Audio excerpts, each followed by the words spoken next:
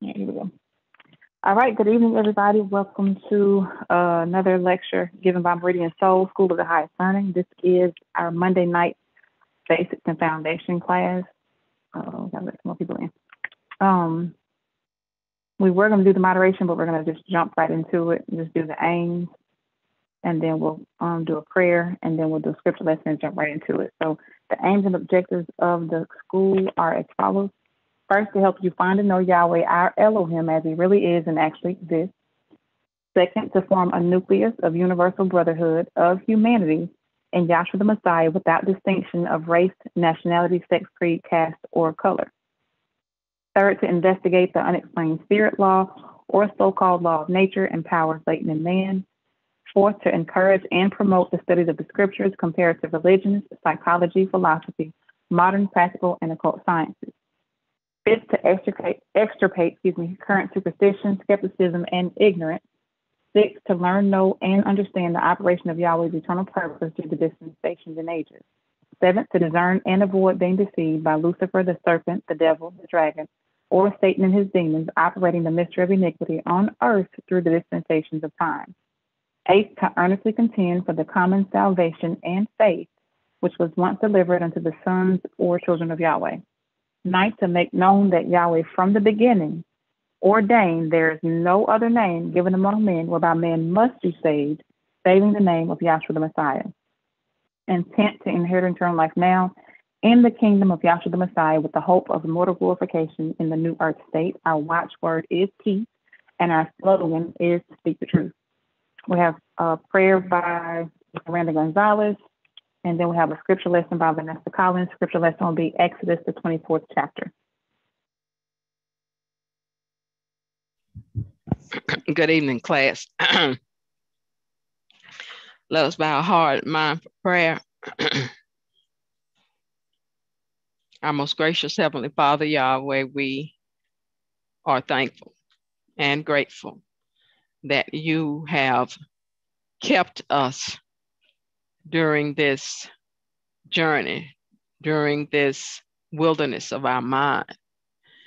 But thankful that you have laid down the footsteps,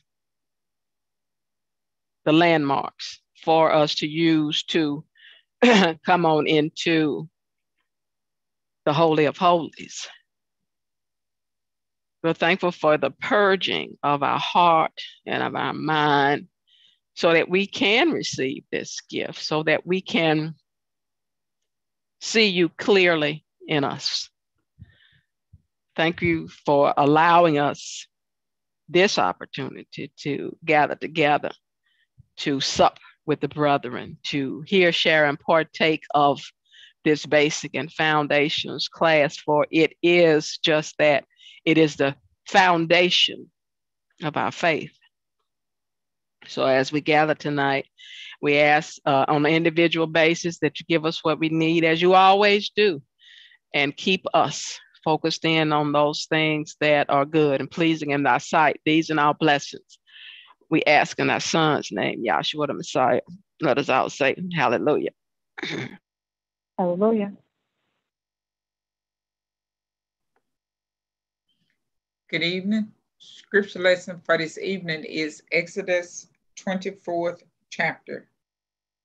I'll be reading from the Holy Name Bible containing the Holy Name version of the Old and New Testaments, critically compared with ancient authorities and various manuscripts revised by the late A.B. Traina, the Scripture Research Association Incorporated.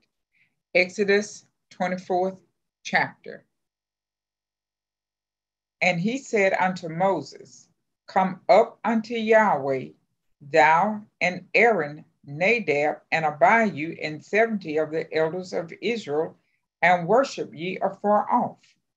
And Moses alone shall come near Yahweh, but they shall not come nigh, neither shall the people go up with him. And Moses came and told the people all the words of Yahweh and all the judgments, and all the people answered with one voice and said, All the words which Yahweh had said, will we do? And Moses wrote all the words of Yahweh and rose up early in the morning and built an altar under the hill and 12 pillars according to the 12 tribes of Israel. And he sent young men of the children of Israel, which offered burnt offerings and sacrificed peace offerings of oxen unto Yahweh.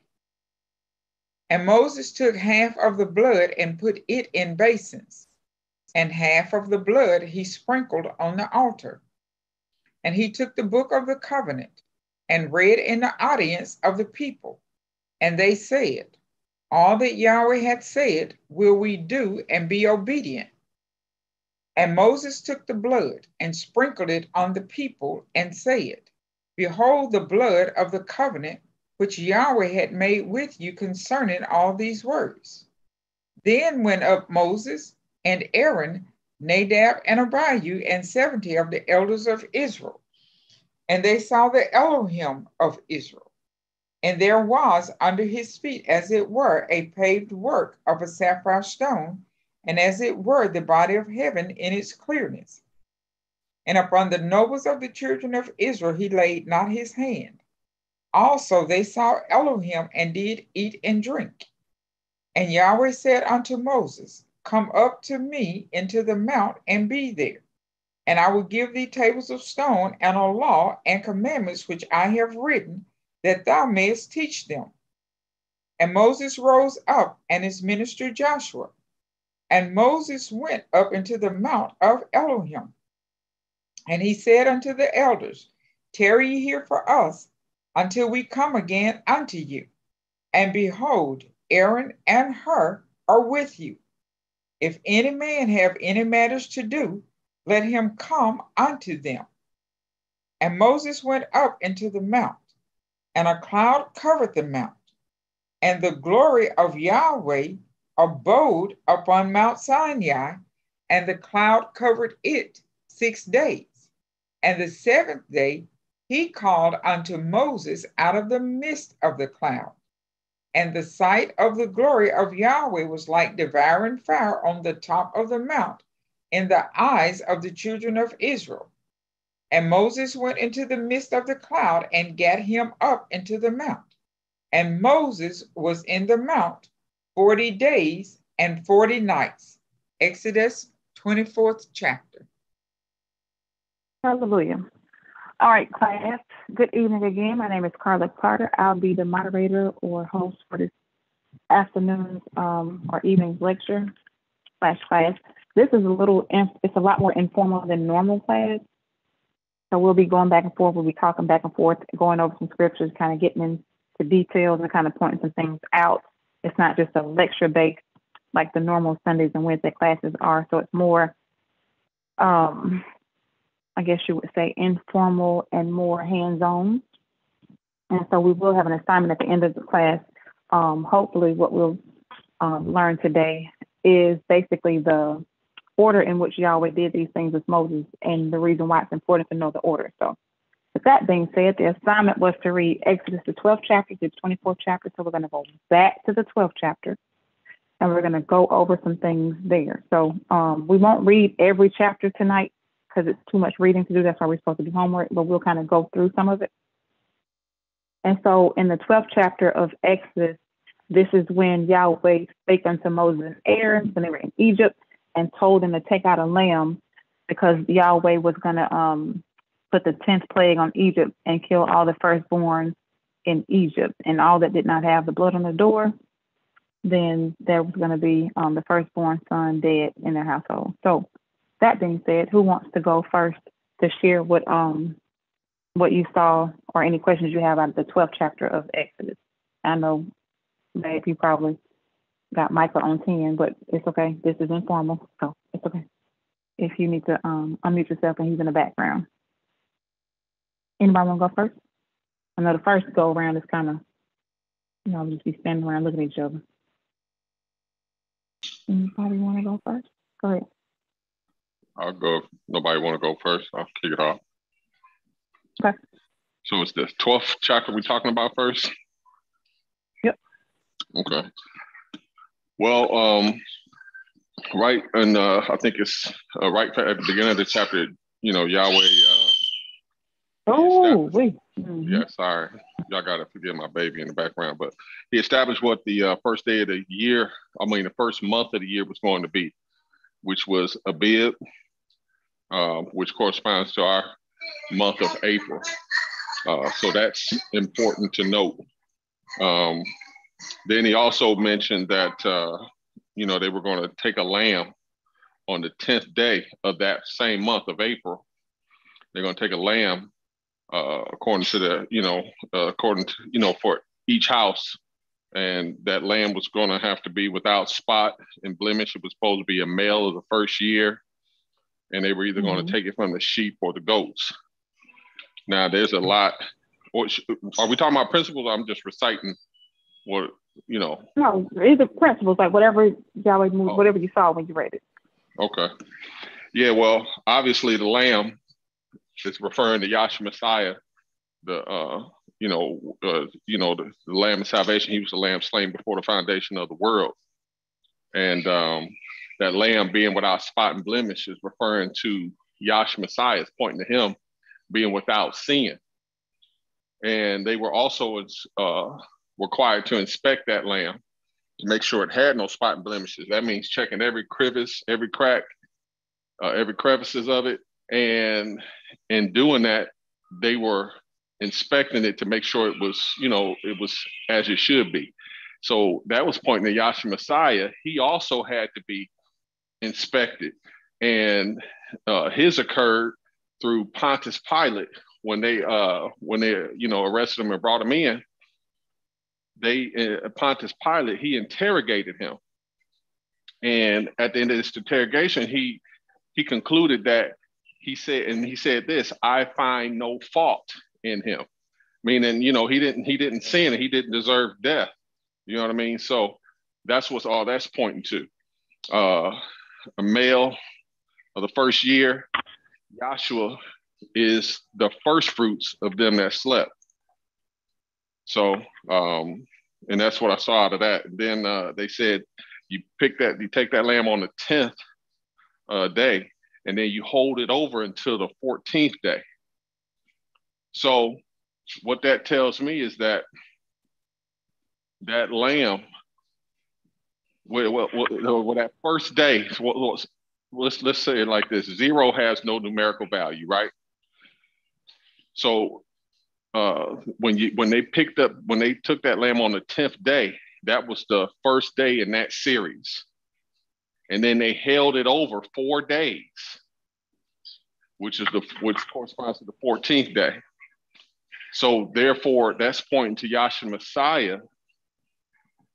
Uh, you know, if you look at the uh, the what's that chart called the te- uh, the dispensations, the ages and dispensations chart you have uh, several ages there, seven ages and, and seven dispensations. Well, Yahshua Messiah didn't come in. He uh, he ushered his death ushered in the fourth age, or he came out. Or, or well, his uh, he came in. He was born on the four thousandth year. I'm sorry. Came into the world, manifested in flesh in the four thousandth year through the loins of a virgin, and that corresponds to the fourth day, just as the sun was placed in the sky on the fourth day. So um, you got that there. And let me see what else was stood out there. Um, well, was a, that that chapter is pretty long, but those were those were the main things I had highlighted uh, in that. And that's all I got to say. Okay, very good. All right, thank you, thank you for getting us kicked off. Who wants to go next? Um, I'll go ahead and share a little of what I saw. Um, Okay. I'm reading through until verse 17, and what uh, what struck me real interesting was that uh, you shall observe. It was referred to as the feast of the unleavened bread. Okay, now unleavened bread, from what I understand, is bread that has not yet risen because it doesn't have the yeast factor in it. Mhm. And uh, when the Messiah died on the cross, he had not risen until after until the third day, and uh, not being risen until the third day, and him claiming to be the bread of life, I found that to be very interesting. Mm-hmm. Yeah, that's all I'm going to share today. Thank you. That's good. Very good. We talked about that last night too. Very good. Awesome. Anybody else saw anything in the 12th chapter of Exodus before we um, break it down?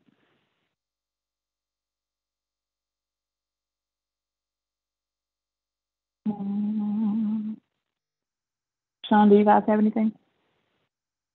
Oh, you know what? One more thing. Oh, mm-hmm.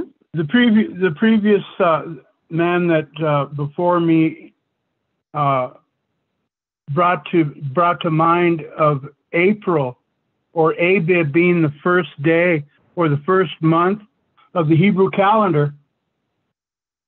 And uh, he also mentioned that this would be important. And in looking through unto uh, Math or Luke, okay, in Luke, the book talks about, and in the sixth month, the angel Gabriel, or, I'm sorry, Luke uh, 1 and 26.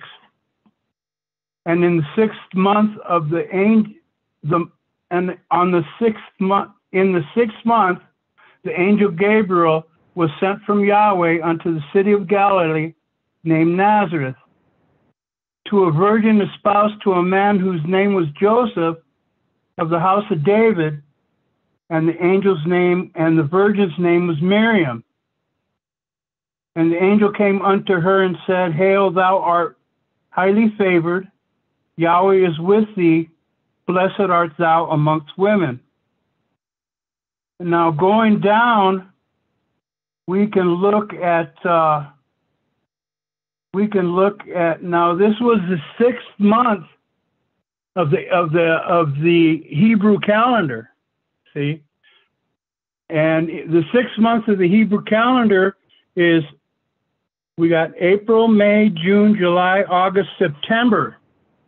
Okay, now in in in in the month of September, uh, Miriam's cu- Miriam's sister was impregnated with with uh, John.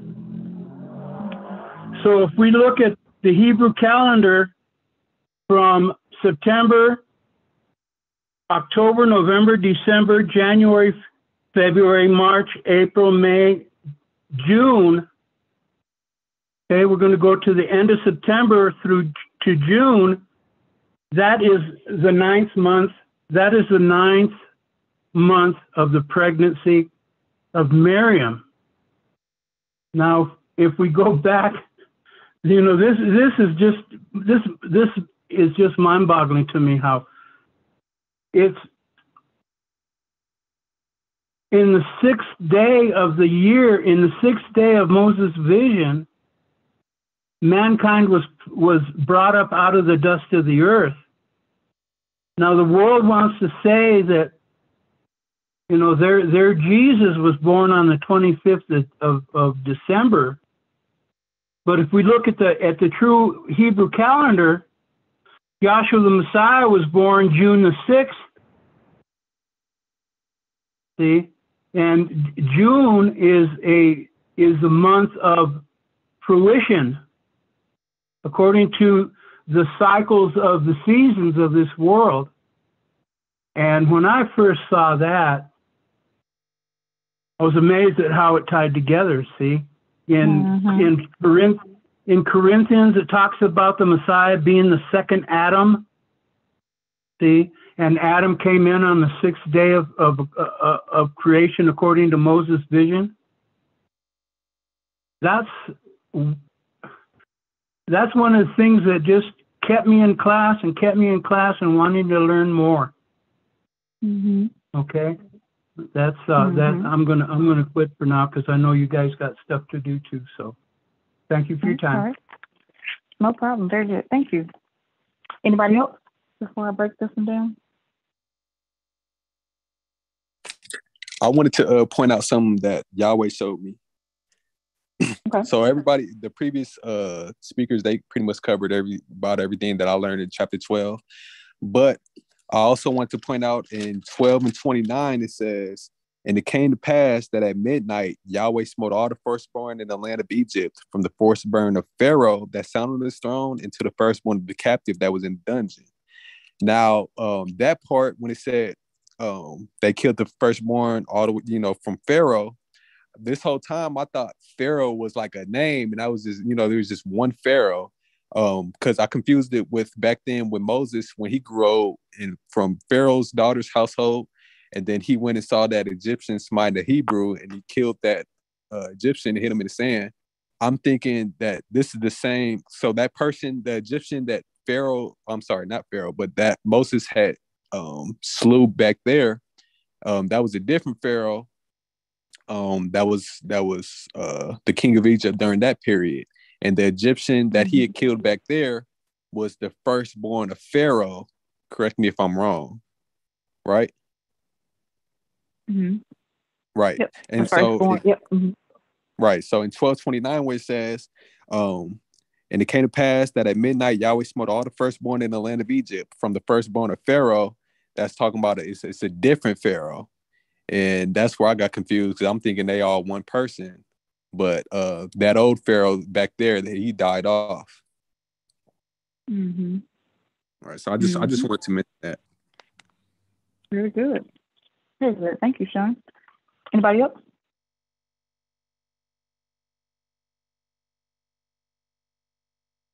All right, so let's break this chapter down. So I'll kind of bring it together what everybody was sharing. So the very first part of chapter 12, um, it says, And Yahweh spake unto Moses and Aaron in the land of Egypt, saying, This month shall be unto you the beginning of months. So this is when Yahweh is establishing the time with Israel.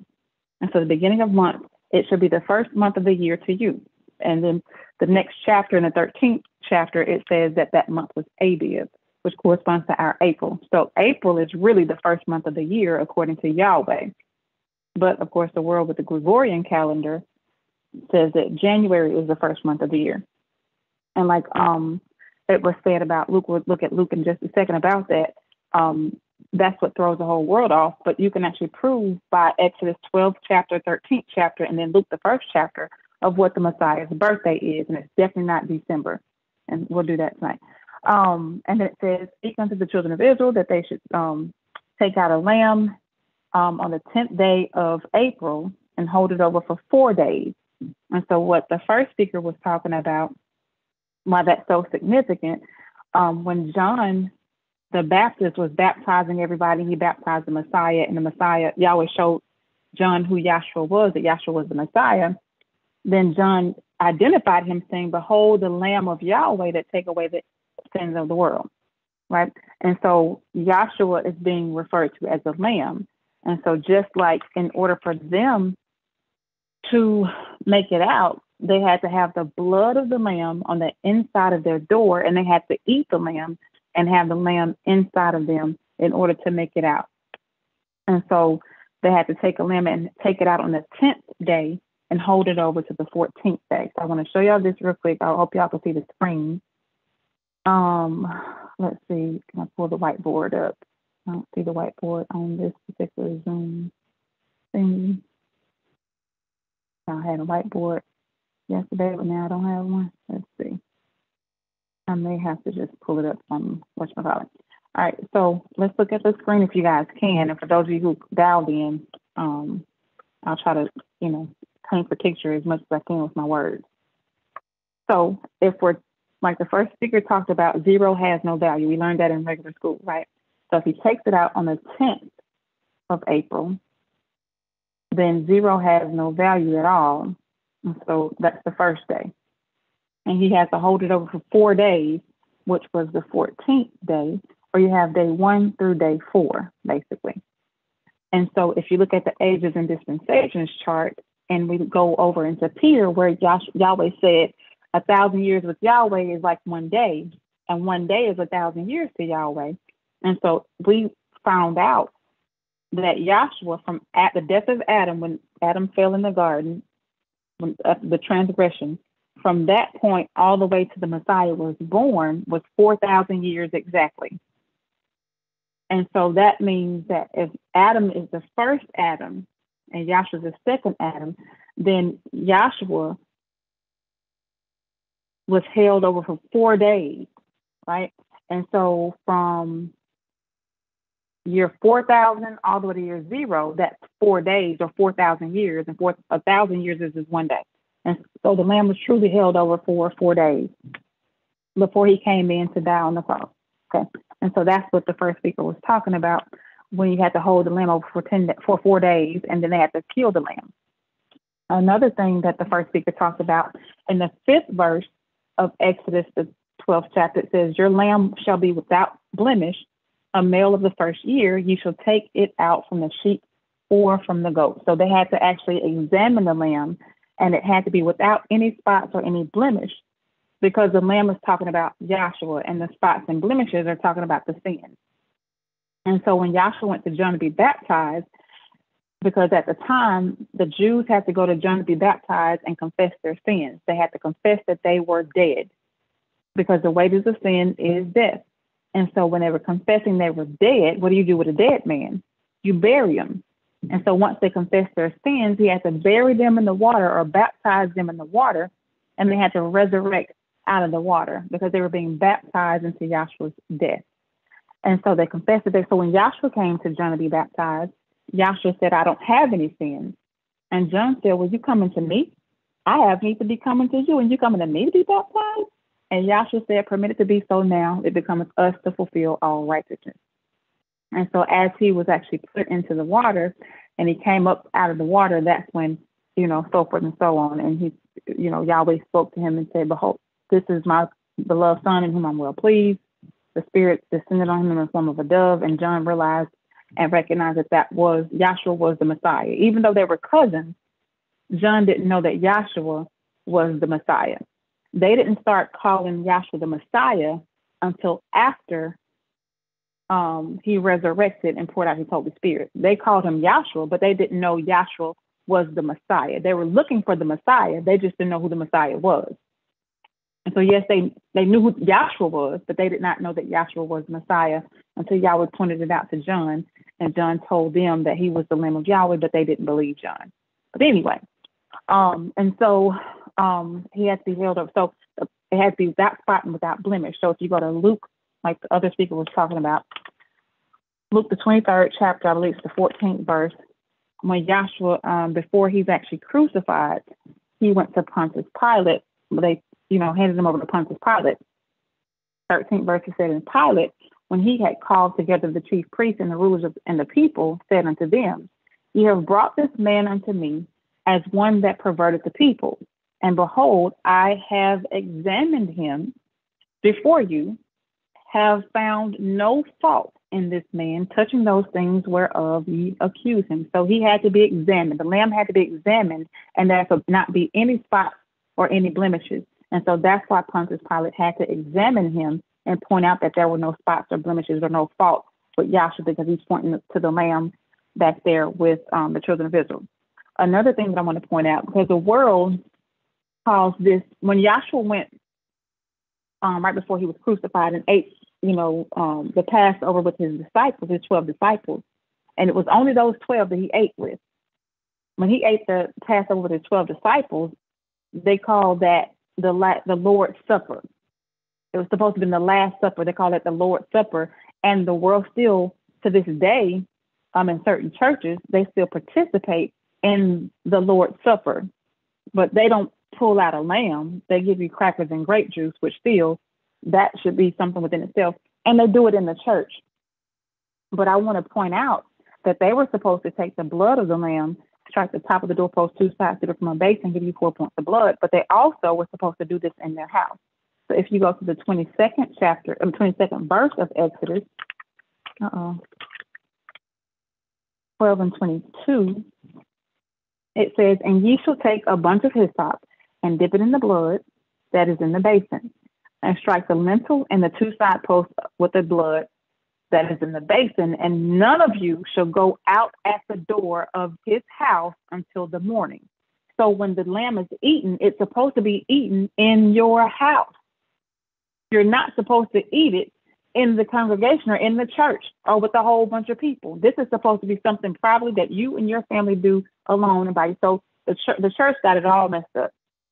And you could prove them wrong just by um, this particular chapter here. So many different things in this chapter that can kind of just dispel the whole Lord's Supper thing. But anyway, um, so those are a couple of things that we pointed out.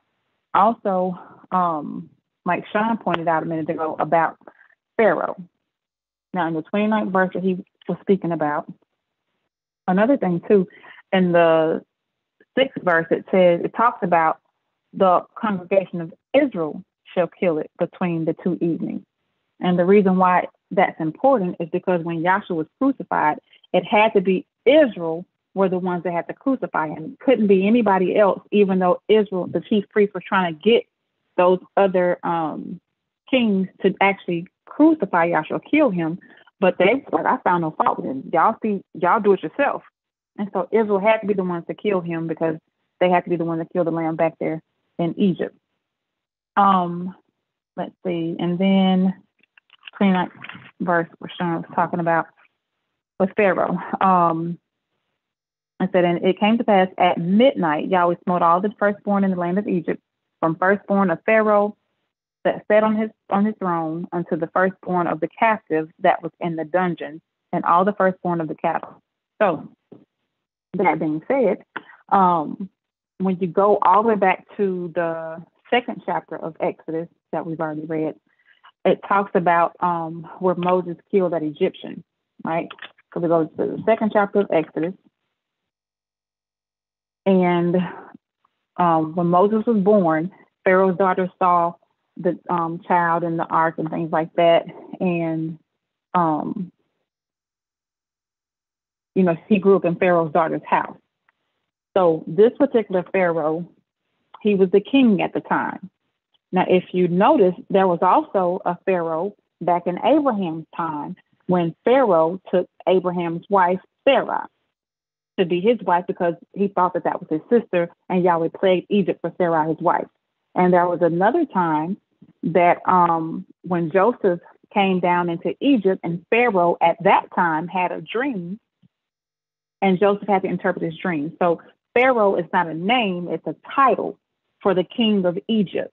And so you had a, a lot of different pharaohs, but they all had names. You had Pharaoh, you know, King Ramses, the first, the second. You had all the different pharaohs that had different names. So this particular pharaoh that was in Moses' time is a different pharaoh that was in Joseph's time because it said, um, let's see, I think it's in the uh, second chapter, I think, of Exodus, where it talks about Pharaoh that didn't know Joseph, or maybe the first chapter of Exodus, the Pharaoh that didn't know Joseph, um, the Pharaoh that knew Joseph died off. Um, and so if you remember, 70 souls came down into Egypt, right? So 70 souls came down into Egypt of the children of Israel or of Jacob or Israel, him and his children and their wives and their children and things like that. So you had the 12 sons of Jacob, and Joseph was one of them. Joseph was already in Egypt because his brother sold him down into Egypt. And so that was the only place where anybody in the whole world could get food. And so Joseph, because he interpreted Pharaoh's dream at that time, he's the reason why Egypt was so rich at the time. Because Yahweh had given him the interpretation of Pharaoh's dream, and they stored up storehouses for seven years. And that was the only place in the world when Yahweh sent the famine out that anybody could get um, any food. And when they couldn't buy any, they had ran out of money, then they sold their land. When they ran out of land, then they sold themselves as slaves. And so the whole seven years of famine, Egypt was extremely rich because of Joseph, and Joseph was made governor second to Pharaoh at that time. And after those 70 souls came down, you have to remember, Yahweh said they would be placed in bondage for 400 years. And so a lot of time passed, you know, and once the time passed, all of the sons of Jacob had already died. Moses' father wasn't even Levi. Moses' father was of the tribe of Levi. Levi was already dead. So Joseph and all his brothers and the Pharaoh that knew Joseph, that Joseph interpreted his dream, all of those people had already died off by the time you get to the second chapter of Exodus. And so the second chapter of Exodus talks about, and there went a man of the house of Levi and took a wife, of, a daughter of Levi. So that shows you that Moses was actually a Levite, which is important too when we keep going. So keep that in mind. He's of the tribe of Levi. And so when she had the child, whatever, Moses grew up in Pharaoh's house. And so when Moses was out strolling and he saw an Egyptian um, smiting one of his Hebrew brethren. And so Moses rose up and he actually killed that Egyptian. Now, mind you, Moses um, was like Pharaoh's grand, grandson because Pharaoh's daughter was Moses' mother, so to speak, because she raised Moses from being after he was weaned all up to this point, and Moses was 40 years old. So he was in her house for 40 years or 39 years, basically. And so he was like him to Pharaoh's grandson. And so when Moses killed the Egyptian and buried him in the sand, the next day when he goes out strolling and he sees two Hebrews quarreling, and the one that was in the wrong said, You're going to kill me like you did that Egyptian yesterday, Moses feared for his life. Now, if it was just any regular old Egyptian that he killed, then I'm sure Pharaoh wouldn't have had anything, you know, he wouldn't have killed his so called grandson, but it had to be somebody very important that Moses killed.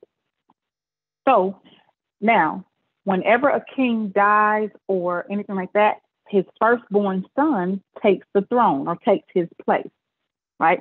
And so Pharaoh had sons and, and a daughter, of course, evidently. And so when Moses killed that Egyptian and he feared for his life and he ended up running to the land of Midian.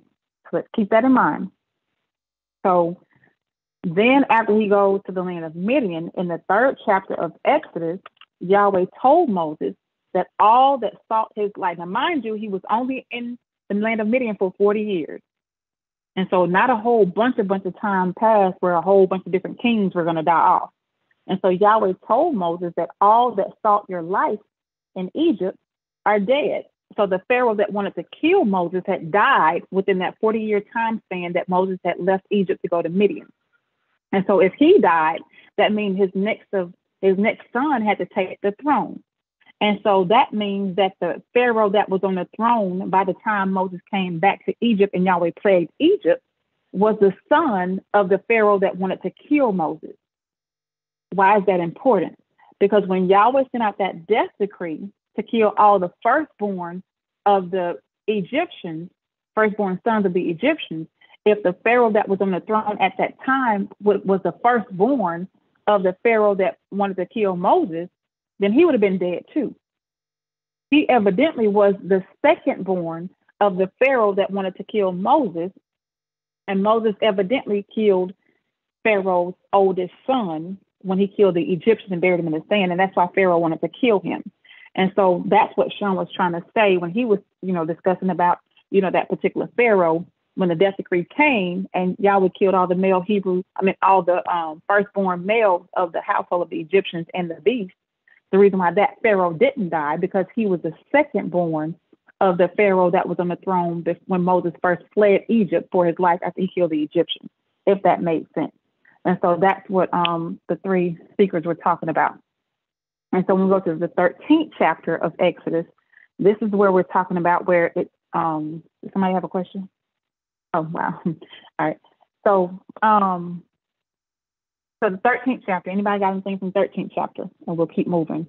We got a lot of ground to cover till we get to the 24th chapter. So I want to kind of, you know, let's move kind of quickly because there's a lot that we want to cover in the 24th chapter. I want to show you guys a couple of things that can really get rid of all the bull crap that some of these churches are talking about as far as the Sabbath day is concerned and the different things that we're supposed to be doing that we're not supposed to be doing. I'm going to show you guys a couple of those things. We won't get into the judgments and stuff, like the 21st, 22nd chapter, like those chapters. We won't do a lot of that. We'll point out a couple of things, but we'll miss, we'll kind of overlook some of those because it's a lot of um, judgments and things like that. For the 13th chapter, anybody got anything for the 13th chapter that they saw? If you will, please, I'd like to go back to something you mentioned in the 12th about how okay. Moses Moses' mother was Pharaoh's daughter? No, no, no, no. Moses' mother was of the tribe, the house of Levi. Moses' mother oh. was actually um, his father's aunt. so Moses' mother and father were actually aunt and nephew of the tribe of Levi. I was saying oh. uh, she was totally Pharaoh's daughter was so to speak Moses' mother because she raised Moses from being from from being a year old, being weaned, up Oh. until he was 40 years old. So no, no. Oh, okay. I just I missed that. Yeah. When you when I when I heard that, I said, wait a minute. I've never heard No, no, this no. before, but yeah, Yeah. Okay, yeah, neither. yeah, yeah. You you neither. Okay, okay. Good enough. good All right, enough. cool. Yeah, I it Yeah, Moses- me. Moses. Yeah, I'm sorry. So, So if anybody was- else it- thought I said that, no. Mm-mm. Mhm. So it was it was Moses killed Pharaoh's oldest son. Yep, that's why Pharaoh wanted to kill him. Oh, okay. I, yeah, because I, I always wondered why why the Pharaoh would want to kill Moses. You know, I mean, I know he killed an Egyptian and buried him, but who was this guy? Now I know. Yep, it was his oldest son. That's why the Pharaoh Okay. that was on the throne afterwards didn't die in the the um when the death angel passed because he was not a firstborn. He got the throne Oh, because his oldest brother was dead already. oh, okay, okay. Good enough. Mhm, Thank you. Yep. No problem. Absolutely. Any other questions from the 12th chapter before we move to the 13th? Yes, Carl, I have a question. Are you saying that um, that Egyptian that was killed, um, that was um, the Pharaoh's son? Yes. Um, Firstborn. because I I know that is taught. Is that in the book though? Um, well, that's how you prove it by the book. Um, why else would the Pharaoh that was on the um, throne, why did he not die in the death decree if he was the first one son? Yeah. And, and matter of fact, Dr. Kinley actually explained it a lot more in the, um, there's a transcript that I can email you where Dr. Kinley went through it um, a lot more. It's called Aaron's Rod and, oh man, I can't remember the whole name of it, but um, I can email you that transcript too. It may be on our website, but let me see. And that will be, um, he kind of goes into more detail about it as well. Yeah, I'd like to read Uh, that. Um, I'd appreciate Mhm. that. Absolutely. I've heard it. I've heard it, Here we go. but this I, is, um, is it right? This is the, I if I you see the screen, this, oh, go ahead, I'm sorry. Yeah, uh, one of the reasons why I mentioned that is because, you know, um, I remember saying something. I know the uh, founder. Um, it anyway. It was taught in the school with that lamb, where when that lamb was pierced in the side, you know, and we go to Yahshua and we show how that he was pierced in the side. And then I was called, and I, I repeated that. And um, I was called out on it. Now, it Mhm. doesn't say in the 12th chapter, it doesn't say that in the book, that the lamb was p- pierced in the side. But it's by Mhm. vision and revelation uh, that we know that that is so. And so that was Right. my reason why I mentioned about this Mhm. here with Pharaoh's son, Mhm. the Mhm. Egyptian. Well, you can prove that the lamb was pierced in the side, even though it doesn't say it here. And the way Right. we prove it is when Yahshua said he fulfilled, he had to fulfill everything that was written in the law and the prophets. And so if you don't Right. take it on this side, you take it on the other. For example, this is another example. Right. The book doesn't say either that there was a death decree on all male Hebrew children from two year old down to birth with Moses. It doesn't say that. We teach that, but it doesn't say that. But how do we know that that was the case then? Because when Yahshua was born, let's see, let me find it. It's in Matthew. Um, Herod, let's see. Uh, where was it? Two year. Um, two year down to birth. Let's see. Two year. Let me find it in Matthew real quick so I can read it for you. I don't want to misquote it. Where is it? Um, where is it? Where Vanessa, you you you got it pretty quick. Where is it where Herod sent out the death decree for um Yahshua? Was trying to kill all the Hebrew children. The male Hebrew children to destroy to destroy him. let's see.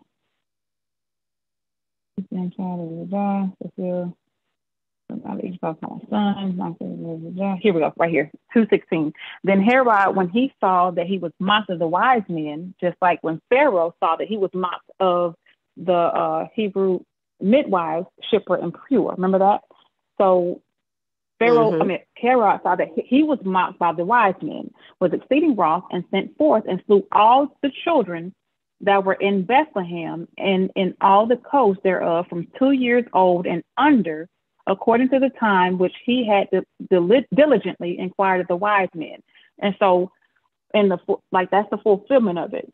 And so that's when Moses, in the first chapter, no, second chapter of Exodus, second chapter of Exodus, when Pharaoh um, sent out the death decree to kill all the male Hebrew children from, um, I say years down, down the road, but it doesn't read that way.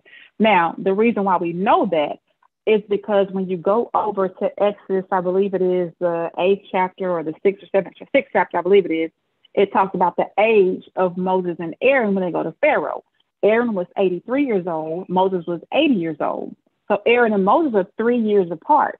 That's the reason why you don't read right. that Aaron had to be hid because Aaron had just missed the death decree because he was three years old and the death decree was from two year old down to birth.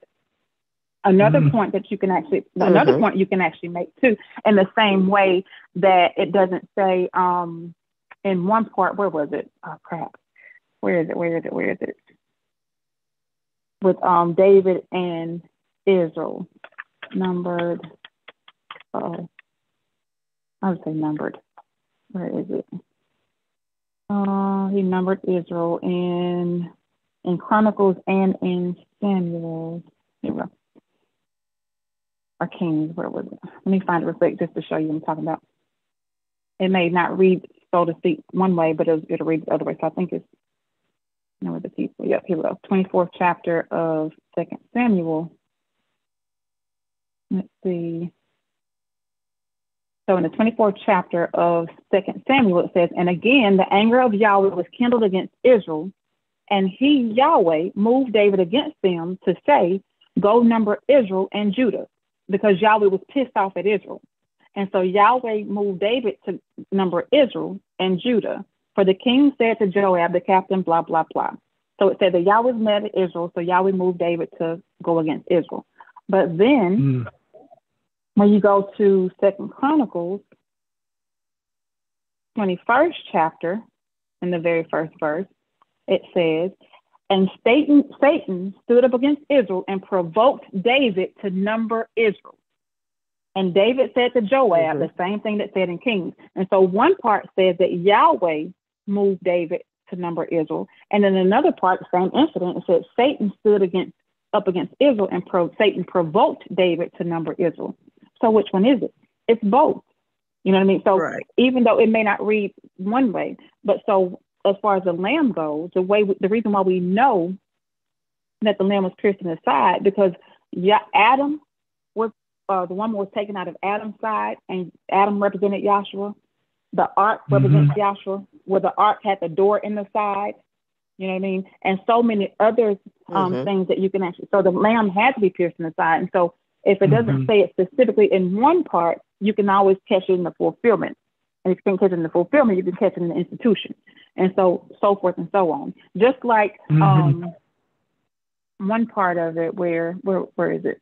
Oh, with when when Joshua, um, the son of Nun, when he numbered the hundred and forty four thousand, mm-hmm. it said over there in Joshua that he didn't number he didn't number them, but over in Revelations it said, and this was the number that he numbered them was one hundred and forty four thousand. Right.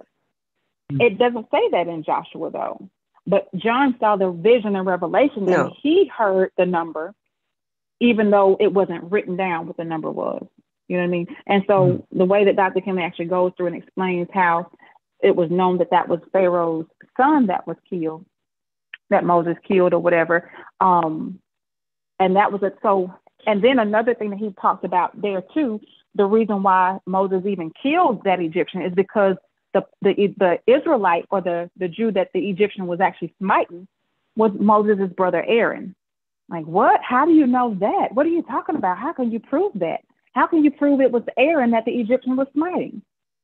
Because Moses fled with the rod. And so when Moses came, when Yahweh asked Moses at the burning bush, you know, what do you have in your hand? He said, a rod. He threw the rod on the ground, turned to a serpent, da da da da. Came back down into Egypt.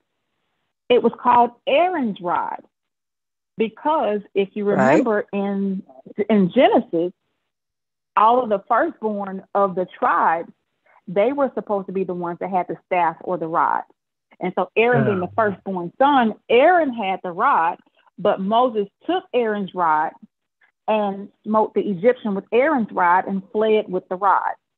And so that's why Moses had Aaron's rod the whole time until he came back down into Egypt.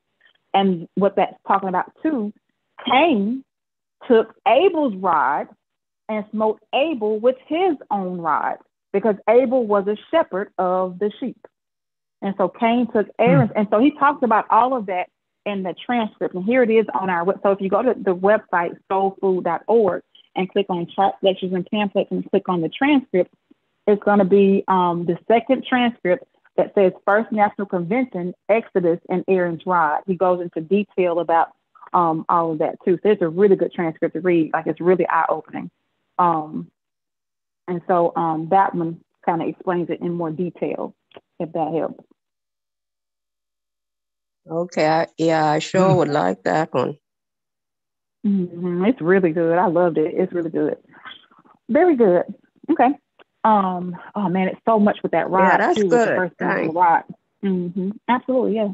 Know, it's a lot with that rod too. Um. Even with Ephraim and Manasseh, and with Joshua the son of Nun having to be attached to the tribe of Ephraim instead of like it's a lot. That's why he's called Joshua the son of Nun. It was. It's a lot. But anyway, so stick to the mm. script. Okay, so the 13th chapter of Exodus. Um, anybody got anything from the 13th chapter?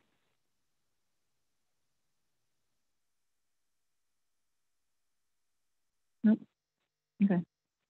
Um, this is where Yahweh told um, Moses to tell the um, children of Israel, sanctify me, all the firstborn, whatsoever openeth the matrix. Now, I used to be confused about this part.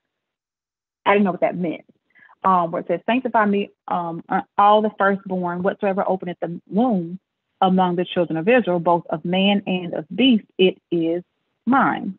And Moses said unto the people, Remember this day in which ye came out of out from Egypt, out of the house of bondage. Let me put it on the screen, I'm sorry.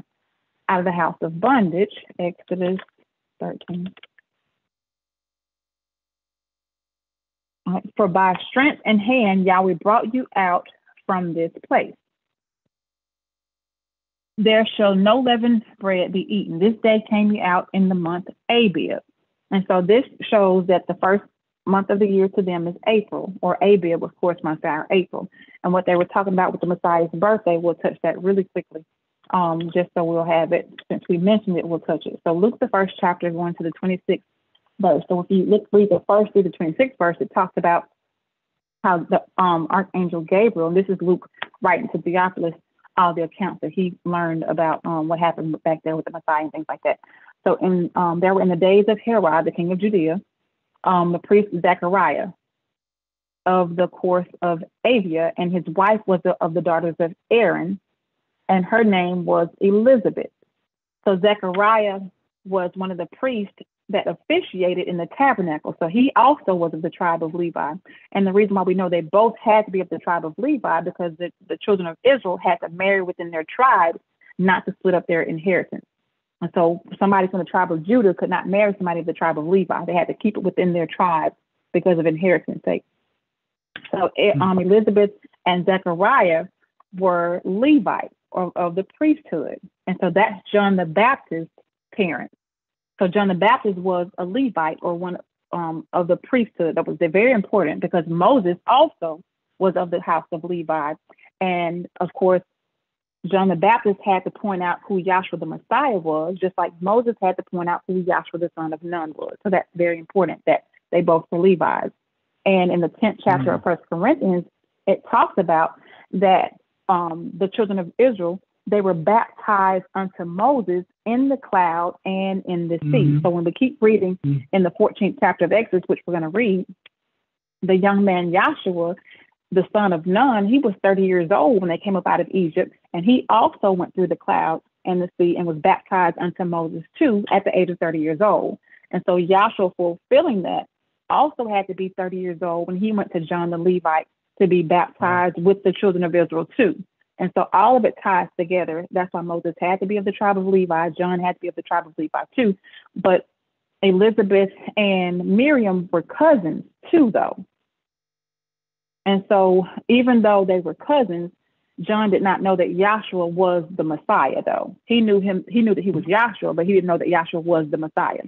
Just like Moses didn't know that Joshua, the son of Nun, was the angel that Yahweh told him he would send before him. But anyway, so we're talking about the birthday. And so Elizabeth and Zechariah, Elizabeth was barren. She couldn't have any children. Um, they were of age at the time. They were well stricken in years, just like Abraham and Sarah. And the angel Gabriel came to Zechariah when he was actually doing the incense in the tabernacle of the hour of prayer like he was supposed to. And so evidently he was praying for a son or for a child. And it said that, you know, your prayers have been answered. And so um, the angel came into him and told him that he would have a son and he would call his name in the Bible it says John, but we know that there was no J. And so it was actually um Jan or Elijah, however um it is in Hebrew. And then um so Zechariah was like, How can I have a child seeing that we're old? And he said, Because you didn't believe, then you're gonna be you won't be able to speak. You're gonna be dumb. And you won't be able to speak until this thing is fulfilled. And so um, Elizabeth got pregnant, and it said that John the Baptist would be born with the Holy Spirit, and he would have the spirit and power. He would come and he shall go before him in the spirit and power of Elijah to turn the hearts of the fathers to the children, which is a whole bunch of other stuff that we could talk about. That we don't have time. And so then when you go down here, um, so Elizabeth was pregnant. So it says, and after those days, his wife Elizabeth conceived and hid herself five months saying, Thus hath Yahweh dealt with me in the days wherein he looked on me to take away my reproach among men.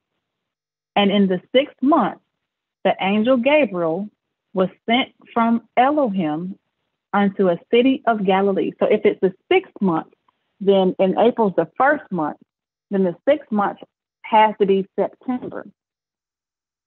So in September is when the angel came to a virgin espoused to a man named Joseph of the house of David, and the virgin's name was Miriam or Mary. And so this is when Yahshua um, was put in the Virgin Mary's womb. And so that was in September. And so when it talks about that in Galatians, the fourth chapter, fourth verse, that in the fullness of time, that means she went full term, the whole nine months. So if you count from September, nine months from September is June. But even if we said that this was a six month according to the Gregorian calendar, June, you nine months from June is not December. It is utterly impossible for his birthday to have been in December, no matter what right. calendar you use at all to calculate his birthday from using the book of Luke. It's impossible. Now, if you go back and look at Elizabeth when she was five months old, um, and then in the sixth month, September, if you now John the Baptist, he was born in December.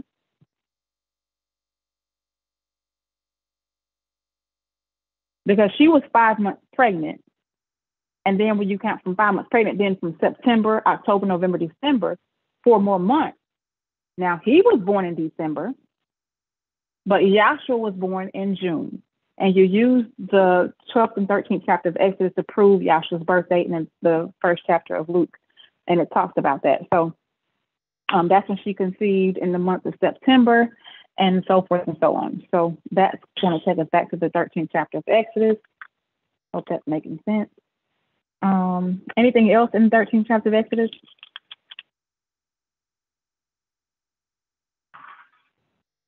Okay, so when it talks about redeeming the firstborn. Um, so it says, let's see, we'll go to the 11th verse of the 13th chapter, 13 and 11. And it shall be when Yahweh shall bring thee into the land of the Canaanites, as he sware unto thee and to thy fathers, and shall give it thee, that thou shalt set apart unto Yahweh all that openeth the matrix. I was like, what does that mean? And every firstling that cometh of a beast which thou hast, the males shall be Yahweh's. And every firstling of an ass thou shalt redeem with the lamb. And so redeem, if you look at the word redeem, like I was saying last night, like say for instance, um, you know, my husband gets in trouble or whatever, and he has to, you know, pay a fine. Once I pay that fine, he's redeemed of that that um whatever he was charged with. He's redeemed now. So he's, you know, been taken care of. Something actually took the place of so he can actually be redeemed from whatever um he was supposed to be bound to do. And so what Yah was saying, because he took all the firstborn males in Egypt of man and beast, but the children of Israel, they didn't have to, it, they it passed over them. But they still have to give the first of their flock, their crops, and their children unto Yahweh. But so it's saying now, um, every firstling of an ass thou shalt redeem with a lamb. So instead of offering up the first um, born of a, a ass or a donkey, he rather have a lamb instead. So offer up a lamb instead of a donkey. And it said, um, and if thou wilt not redeem it, then thou shalt break his neck, and all the firstborn of man among the children shall thou redeem. So the children, they were not supposed to kill their children. They were supposed to redeem their children um, by offering up a lamb instead of their children. And so that's what it means by their children shall be redeemed. And so they're not going to kill their children, but they're going to redeem their children with a lamb to offer up unto Yahweh instead of the life of their child. Um, and that's a whole another reason why they have to do all that too. Um, also in the 13th chapter, um, let's see. Let's see, let's see, see. So 15th verse. And it came to pass when Pharaoh would hardly let us go, that Yahweh slew all firstborn in the land of Egypt, both the firstborn of man and the firstborn of beast. Therefore I sacrificed to Yahweh all that openeth the matrix, being male but all the firstborn of my children I redeem. And it shall be for a token upon thine hand and for a frontlet between thine eyes, for by strength of hand Yahweh brought us forth out of Egypt. And it came to pass when Pharaoh had let the people go, that Yahweh led them not through the way of the land of the Philistines, although that was near. For Yahweh said, Lest peradventure the people repent when they see war and they return to Egypt. But Yahweh led the people about through the way of the wilderness of the Red Sea, and the children of Israel went up harnessed out of the land of Egypt. And Moses took the bones of Joseph with him, and he had straight, for he had straightly sworn the children of Israel, saying, Elohim will surely visit you. What do you mean, visit them? And he did visit them in the body of Yahashua. Anyway, and ye shall carry up my bones away hence with you. Now, at the time that Joseph said this, they weren't even in bondage yet. But he said that Elohim will surely visit you, and ye shall carry up my bones away hence with you. And they took their journey from Succoth and encamped in Etham in the edge of the wilderness, and Yahweh went before them. This is part is important. And Yahweh went before them by day in a pillar of a cloud to lead them the way and by night in a pillar of fire to give them light to go by day and night. He took not away the pillar of the cloud by day, nor the pillar of fire by night from before the people. Keep this in mind when we get to the 24th chapter of Exodus. Now, Yahweh went before them in a pillar of a cloud. So the cloud in the daytime was a cloud, but at night it turned into a pillar of fire so they could still have light as they were being led. So keep that in mind when we keep reading. Um, and then that's the 13th chapter. So when we get to the 14th chapter, does anybody have anything they want to share in the 14th chapter or that they saw? Looks like y'all are getting something out of this tonight. Good. Um, oh, what? um, Go ahead. I just had a little summary for chapter 14. Okay. All right, so that was when they were getting ready to flee out of Egypt. So um, Yahweh told Moses he was gonna harden Pharaoh's heart, and then that you know they should follow them, the Egyptians should follow them or whatever, and then you know that's when Pharaoh readies up his uh, people and car- chariot and all that stuff, and he took six hundred chosen chariots, all of the chariots of Egypt and captains over every one of them.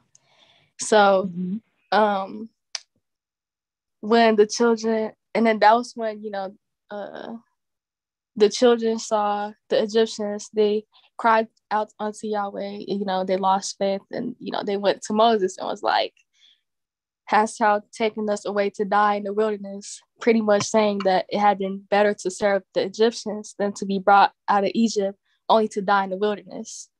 So mm-hmm.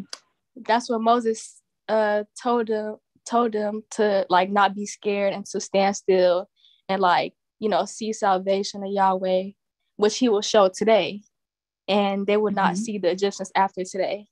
So you know that that's just Moses is saying like you know have faith in Yahweh and like He'll show mm-hmm. you. So um, mm-hmm. Moses was saying that Yahweh will fight for them and hold peace, and uh, that's when Yahweh told Moses to tell the children of Israel to keep going, like move forward. And then um, Yahweh told Moses to take his rod and stretch out the sea and divide it, and the children of Israel should go walk on dry ground through the mid sea. And Yahweh told Moses to stretch out thine hand over the sea and have the waters come again upon the Egyptians, upon their chariots, upon their horsemen. And when he did and when he did that, the Egyptians fled against it, and Yahweh overthrew Egyptians in the mid sea. But the children of Israel walked upon dry ground. And it was like it's it just blew me away because like, you know, it really happened. And it's mm-hmm. really crazy. yeah, mm-hmm. that's all Very good. Very good. Awesome. Good job. Very good. Now about that, so she talked about she read about the um horsemen, right? So how many chariots was it? It was six hundred. Okay, six hundred. Uh, so it was uh I got that. Uh, I, I have this sinus thing going on. there were uh, mm-hmm. in 23rd verse, it says that and the Egyptians pursued and went in after them to the midst of the sea, even all Pharaoh's horses, mm-hmm. his chariots and horsemen. But over on the on the seventh verse, it said, and he took six hundred chosen chariots and all the chariots of Egypt and captains over every one of them. So you had the mm-hmm. six hundred chariots, you had the six hundred horses, and the 600 horsemen. And mm-hmm. y'all showed us that that that's I can't even say it. That's that adversary six six six. mm-hmm. Um, and he t- said it. They took Yahweh took off their chariot wheels, and Israel, of course, went through on dry ground. dry ground. But after that, then the Egyptians tried to come in pursuing after them, but the same rod that Moses held up to to uh, to divide the waters of the Red Sea is the same rod he used to bring down the waters on the Egyptians, and so that you know people say, well, uh, and you know, in this Cecil B. DeMille, it shows Pharaoh going back down, putting his son in Moloch's arm. No such animal. Mm-hmm said mm-hmm. that mm-hmm. and Yahweh over and Moses stretched forth 27th verse. And Moses stretched forth his hand over the sea. And the sea returned to his strength when the morning appeared. And the Egyptians fled against it, and Yahweh overthrew the Egyptians in the midst of the sea. said the waters returned and covered the chariots and the horsemen and all the host of Pharaoh that came into the sea after them. There remain there remain not so much as one of them. So that includes Pharaoh. Mm-hmm. He did mm-hmm. he did not he did not go back down he did not go back down into Egypt. So Yahweh mm-hmm. said that the Egyptians that you see today, you won't see again forever. He meant just that. he meant just that. So, like the young mm-hmm. lady was saying, it shows that if you have faith in Yahweh, anything that can overtake you, Yahweh is the one that will take care of that matter. So, no, um, no one at any time, anywhere is getting away with anything when it is time for Yahweh to, to, to lay hand on him, Yahweh will lay hand because Pharaoh said, he because Pharaoh said when he was in Egypt, Who is Yahweh? I don't know Yahweh, neither will I let you go. Okay, then. I'm glad you said it that way. I'm gonna sh- Yahweh gonna show you who is who He is. You mm-hmm. to know who this Yahweh is? He is the uh, Elohim of heaven and earth. And if He has chosen mm-hmm. you out of this world to give you a revelation or give you this gift too, ain't nothing can keep you for because Israel on their way out from bondage. Mm-hmm. So it mm-hmm. wasn't when it was time for them to come out, there was nothing that could to impede or delay that process. so mm, y'all have to excuse me. Oh, throat is killing me. Um, that was one of the things that actually uh, oh, and on the what's that? The oh, wait a minute, my page went over. That's the wrong one. That's all. that well, that's what basically stuck stuck out in, in in my head was that six six six. You're always showing it all the way down. that even with Pharaoh, he was that beast, a representative of that beast man, the sin. mm-hmm. Yeah, forgive me. Mm-hmm. All good. All right. And then um, another thing too we go back to the 12th chapter of Exodus where it talks about they had to kill the lamb in between the two evenings. And we know that that was on mm-hmm. um, the 15th of April because they had to take it out from the 10th, hold it over to the 14th, and kill the lamb between the two evenings, so between the 14th and 15th. And then it said at midnight, um, Yahweh passed through and smote all the firstborn in the land of Egypt. And they, um, you know, they told them to get up out of there, like super duper late um, between the two, you know, between midnight and daytime, whatever. And so that was one day after the man was killed. Then um, you have when they were out there, you know, going to and through the Red Sea. That was the next day, and then the Egyptians came, and it said that Yahweh caused the east wind to dry the ground overnight. That's another day, and then on the third day is when they actually resurrected through the Red Sea into the wilderness.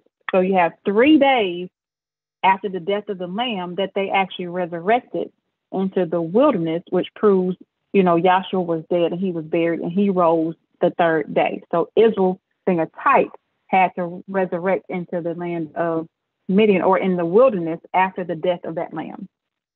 Um, so yeah, that part um, stood out to me too, even though it doesn't say it specifically. But you know, you kind of pick up the time frame. Um, also in the 14th chapter of Exodus. Well, no, does anybody else have anything in the 14th chapter before I do all I'm gonna do? Sorry, need got time. I just want to make a quick little point, something that I noticed. Um, he said, well, when he parted the Red Sea, it was an east wind that blew all that night. And um, if if you pay attention to, you know, when you're reading, every, something, you know, he deals with the East quite a bit. The sun rises in the mm-hmm. East and sets in the West. He also had placed an angel when he when he uh, uh, kicked Adam and Eve out, or Adam out of the garden, and Eve out, and Eve followed. He placed an angel at the east, mm-hmm. and then even when he was uh, born uh, through the loins of a virgin, it was a star in the east. So you know, mm-hmm. um, there's a lot of significance uh, mm-hmm. with with when you know with those principles when you follow it on down, you know, down, you know, line it up and follow it on down through the law and the prophets and whatnot. And that's all I got. Absolutely. And the man was placed eastward in the garden. Adam was placed eastward in the garden. Um, so that's why Yahshua's star had to be in the east because he had to fulfill Adam being placed eastward in the garden. So very good. Awesome. Very good. And so um, if we look at the 19th verse of um, Exodus 14 and 19, um, I could just scroll. And the angel of Yahweh, which went before the camp of Israel, removed and went behind them, and the pillar of the cloud went from before their face and stood behind them. The angel of Yahweh, which we'll point out later on as we keep reading, was Yahshua the son of Nun. Because if we once we keep reading, whenever Yahshua would go into the tent to speak with Moses and Aaron, the cloud would come and sit um, above the tent. And so the cloud was actually going along with Yahshua. Yahshua was the angel that Yahweh said he was sent. So when the angel of Yahweh, which went before the camp of Israel, moved and went behind them, then the pillar of cloud went from before their face and stood behind them also. So Yahshua was the angel. And it said, and it came, and it came between the camp of the Egyptians and the camp of Israel. And it was a cloud and darkness to them, but it gave light by night to these. And so it was a cloud and darkness to the Egyptians. And it was um, light to the by night to these um, that were the children of Israel.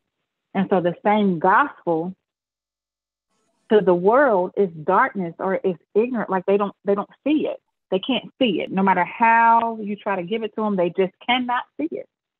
But then for those of us who are the sons of Yahweh, it's light unto us, especially in these dark times, so that the one came not near the other all the night. And Moses stretched out his hand over the sea, and Yahweh caused the sea to go back, blah, blah, blah, blah, blah.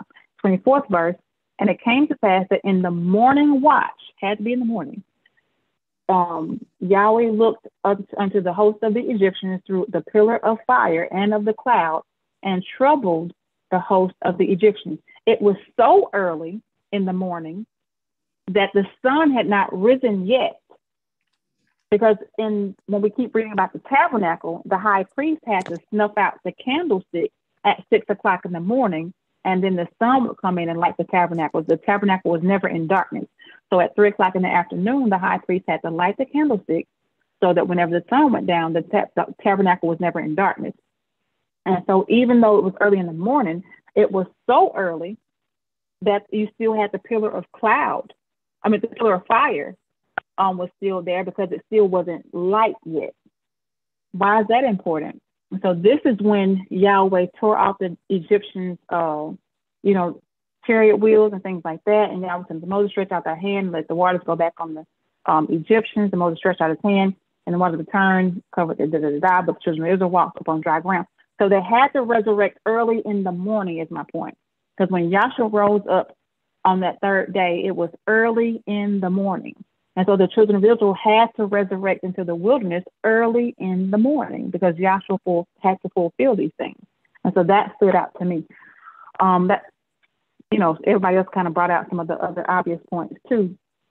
But the last verse of the 14th chapter is the whole reason why Yahweh took them to and through the way that he took them, because he could have taken them by the way of the Philistines because it was quicker, but he took them this way. And the 31st verse says, And Israel saw that great work which Yahweh did upon the Egyptians. And the people feared Yahweh and believed Yahweh and his servant Moses. So all that was done in order for them to believe Yahweh, fear Yahweh, and his servant Moses. All right, 15th chapter. Oh, that Hello. around us. Let's hurry up. Hello. Yes. Hello. Mm-hmm. Yes, ma'am. Um, may I say something, please? Absolutely. Yes. I um I was looking at um I think it's verse 17 where it said that they brought they took 600 chariots, 600 horses, and 600 men. Um, that would be mm-hmm. like 666. But then it also said, um, and all the chariots of Egypt. So I was thinking that it seemed as if the whole army came. Don't know if I'm right, but to me, it would be like Egypt would have lost its power if its whole army was drowned in the sea. Because in is it 17? It mentioned the 6, 600 horses, 600 men, oh. And it said captains over every one of them, but it also said and all the is it 16 chariots? It's 17. It's 14 17. and 17. 14 yeah. and 7. I'm sorry. 14, 14 and 7. 7. And he took 600 chosen chariots Yes. and, and all the chariots of Egypt Yes. and captains over every one of them. Mhm. So it's so if it was not just the six hundred alone, because if he took all, then they would have been left real devastated, no power in Egypt now because their army would have been drowned in the sea. So I was just looking, you know, at that. Mhm. see, Right, so know. the 17th verse, like you were saying, it says, And I behold, I will harden the hearts of the Egyptians, Yes. and they shall follow them, and I will get me honor upon Pharaoh and of all his hosts, upon his chariots and upon his horsemen. So the 600 chariots, horse, and all that, but also the rest of his army. He had more than Right. the, the horses, he had the other army, the, the rest of his army too. So, yes. Mhm. Yeah. Just Mhm. wanted to share Yep. that. Absolutely. Thank you for sharing. You're welcome. All right, cool, cool, cool. Anything else in the 14th chapter before we go to 15?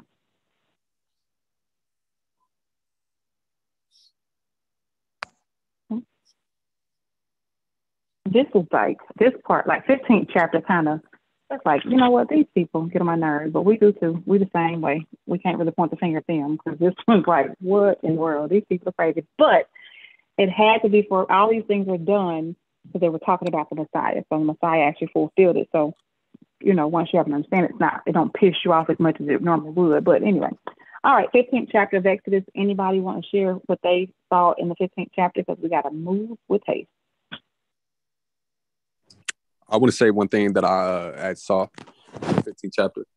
So um towards the end of it, um when uh when Moses had brought Israel from the Red Sea, and when they went to the wilderness of Shur, they went three days into the wilderness and then they found no water. And then when they went to uh, Marah, if I'm pronouncing it right, um, they couldn't drink of that water because it was bitter. And then the people they were mo- murmuring to against Moses, saying, you know, what shall we drink? And then that's when Yahweh he uh, showed them the tree and then cast it down to the waters and made the water sweet. And like similar to the last chapter, when the children of Israel, you know, after or when they saw those Egyptians coming after them, they was like, um, you know, it you brought us out of the, you know, the land of Egypt to just to die and whatnot.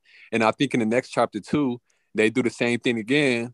Um, they was like, you know, they just kept murmuring, but you know, they were doing it to Moses, not knowing that the whole time is is they're murmuring against Yahweh. And I forgot where it says that, but I think it's the next chapter.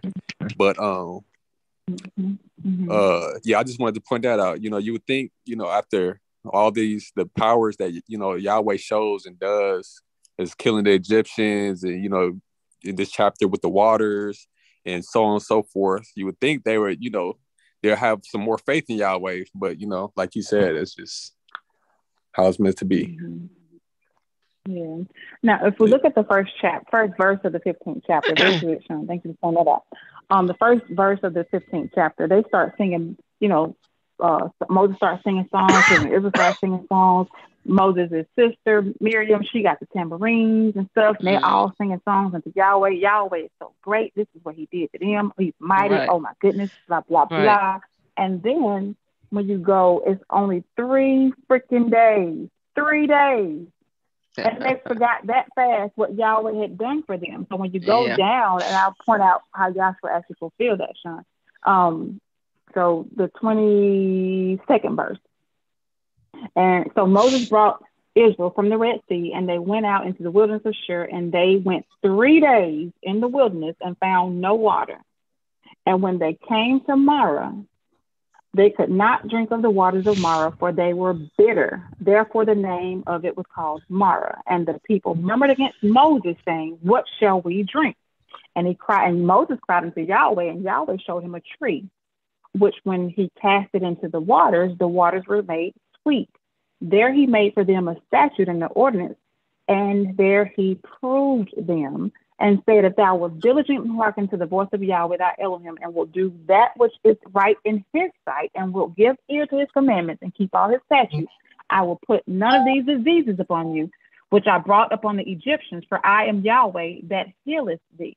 Now, when you look at the water that was bitter, and how Yahshua fulfilled it. So remember, um, in three days, you know, we got the whole three days thing. So the prophetic time, one day um, with Yahweh, like a um, one year, is corresponding to one year because we picked that up in Numbers where when they spied out the land and they didn't do what Yahweh said, they spied it out for 40 days, and Yahweh said, I'm going to give you a day for a year. So they had to be in the wilderness for 40 years.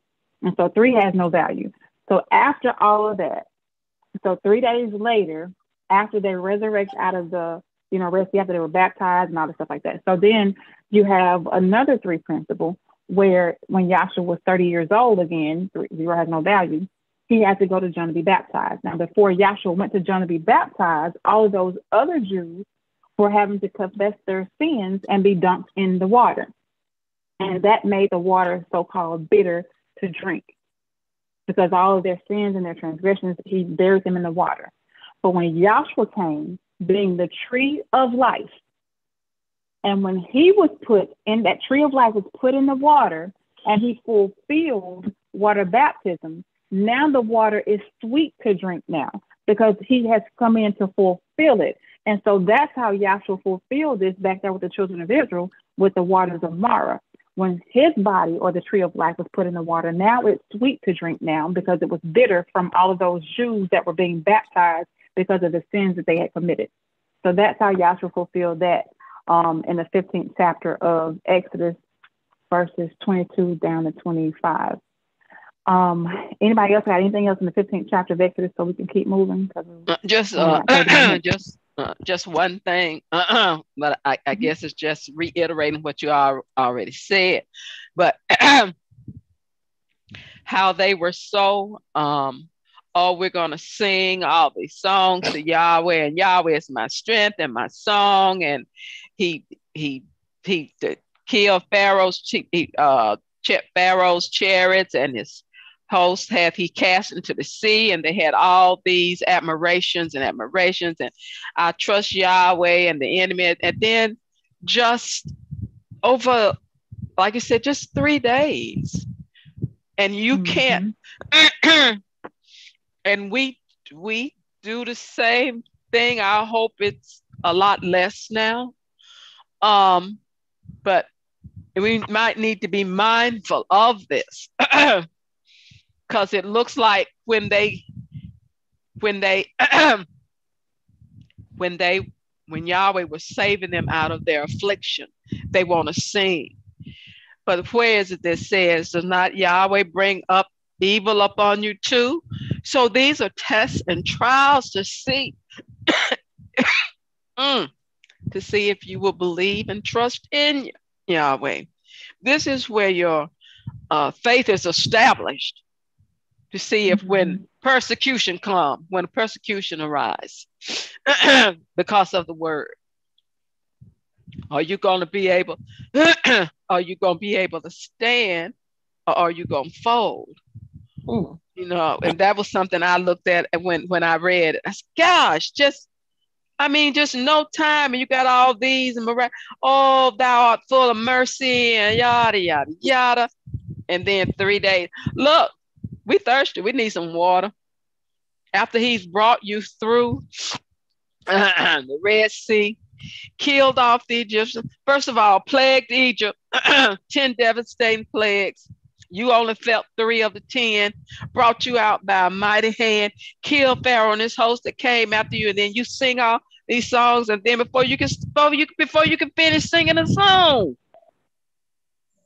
Look, I'm thirsty. I need some water. Mm-hmm. We need some. We need some water. You mm-hmm. brought us. you know, brought us out here to die. Mm, I said, and Moses told him, "Look, who am I that you murmur against?" I don't know if it's in this chapter or not. But you him, "Who? Who are you murmuring? You murmur. You're not murmuring against me. You're mm-hmm. murmuring against Yahweh." And that's what I'm saying. We need to be mindful because y'all we talked about those complaints. Just always, I yeah, I don't have this and I need that and I don't have. Excuse me, y'all. Mm. But let us be mindful. We don't want to be. Always said he gave us this Israel as an example, so we would not err or make the errors or make the mistakes that they did. Hallelujah. Mm-hmm. Very good. Okay. Yep, but it's the seventh verse of the next this chapter that we're going to be that um Moses said that. So we're going to touch that too real quick because we're kind of running out of time. Um, so 16th chapter, first verse it says, and they took their journey from Elim, and all the congregation of the children of Israel came unto the wilderness of Sin, mm-hmm. which is between Elam and Sinai. Um, so before they got to um, Mount Sinai, they were actually between Elam and Sinai in the land of the wilderness of Sin. On the 15th day of the second month, which was May, so May 15th, 30 days after they consumed that lamb, right, after the right. departing out of the land of Egypt. And the whole congregation of the children of Israel murmured against Moses and Aaron in the wilderness. And the children of Israel said unto them, What to Elohim we had died by the hand of Yahweh in the land of Egypt, when we sat by the flesh pot, and when we did eat bread to the full, for ye have brought us forth into the wilderness to kill us, this whole congregation or this whole assembly with hunger. Now you hungry. No. Now you got the nerve to say you were better in Egypt okay. eating flesh pot and eating bread, but you was getting your brains beat out though and crying okay. about your head hurting because you got hit upside the head. But you're better off in Egypt though. You just ate a mm-hmm. lamb 30 days ago. You didn't think to kill one of them lamb and eat one of them lamb again? Complaining about everything. Won't get up and do it themselves. Want to mm-hmm. claim we waiting on Yahweh and then complain when he don't do it in our time. But anyway, we won't have time to go through that. So then, then said Yahweh unto Moses, Behold, I will rain bread from heaven. This is the important part that I wanted to show you. Then said Yahweh unto Moses, Behold, I will rain bread from heaven for you, and the people shall go out and gather a certain rate every day, that I may prove them whether they will walk in my law or no. So this is just to prove them. And it shall come right. to pass that on the sixth day, they shall prepare that which they bring in, and it shall be twice as much as they gather daily.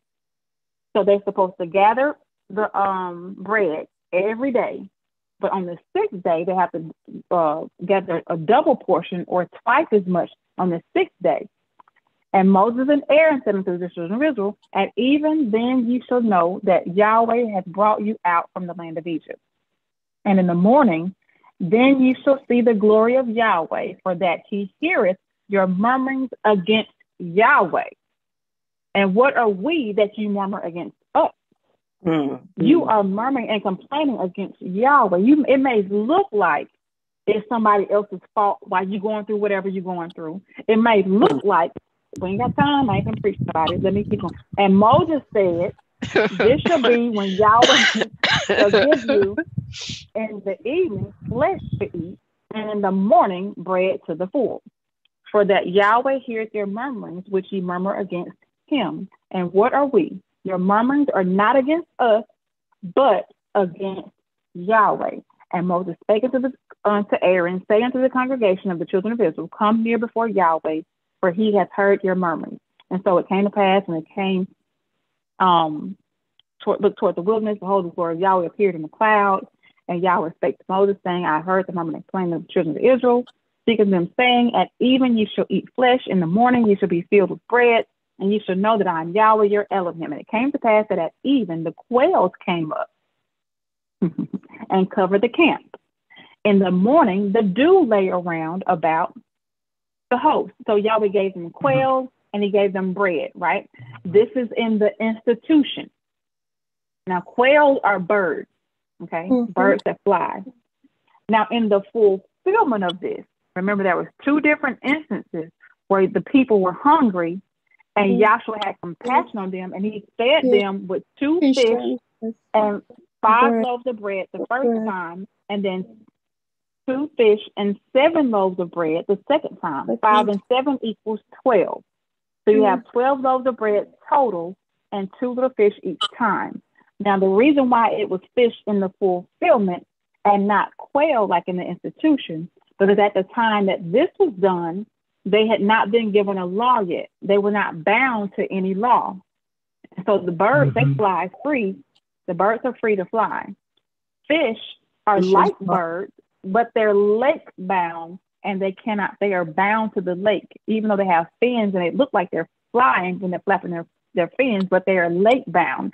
And so Mm. when Yahshua comes in to fulfill this, they were already bound by that law at that time. So he had to give them fish and 12 loaves of bread total to fulfill the 12 tribes of Israel being given bread and the quail that Yahweh fed them when they were hungry.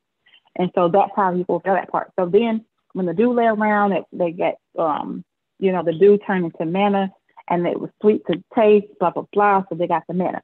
And Yahweh told them in the 16th verse, this is the thing which Yahweh has commanded. Gather of it every man according to his eating, and omer for every man, according to the number of your persons. Take ye every man for them which are in his tent. So according to your person is what you're supposed to take to eat. So everybody's not eating the same portion. I may be able to, you know, obtain more than so and so, so and so, but it's all according to what you can eat, though. And the mm. children of Israel did so and gathered some more and some less. And when they did meet it with an omer, he that gathered much had nothing over, and he that gathered little had no lack. They gathered every man according to his mm-hmm. eating. And Moses said, Let no man leave it until the morning. With notwithstanding, they hearkened not unto Moses, but some of them left it until the morning, and it bred worms, and it stank. And Moses was wroth with them. And they gathered it every morning, every man according to his eating. And when the sun waxed hot, it melted. And it came to pass that on the sixth day they gathered twice as much bread, two omers for one man. And all the rulers of the congregation came and told Moses. And he said unto them, This is that which Yahweh had said, Tomorrow is the rest of the holy Sabbath unto Yahweh. Bake that which ye will bake today, and see that ye will see, and that which remaineth overlay up for you to be kept until the morning. And they laid it up till the morning as Moses bade, and it did not stink. So, what was the difference then?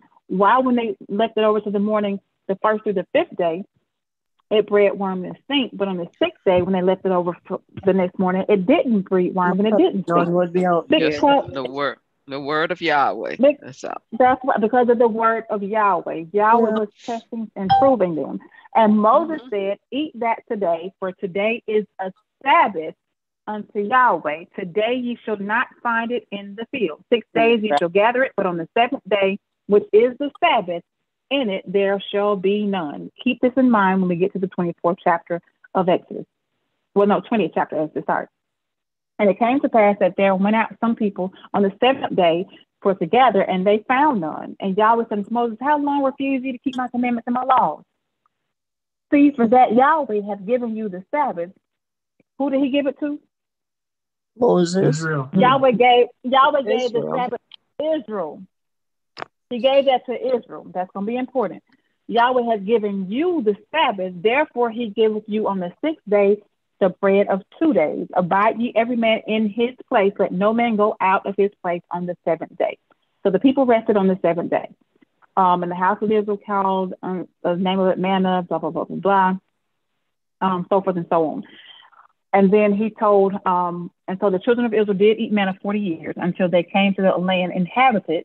They did eat manna until they came unto the borders of the land of Canaan. So he rained down that manna from heaven um, the entire time they were in the wilderness.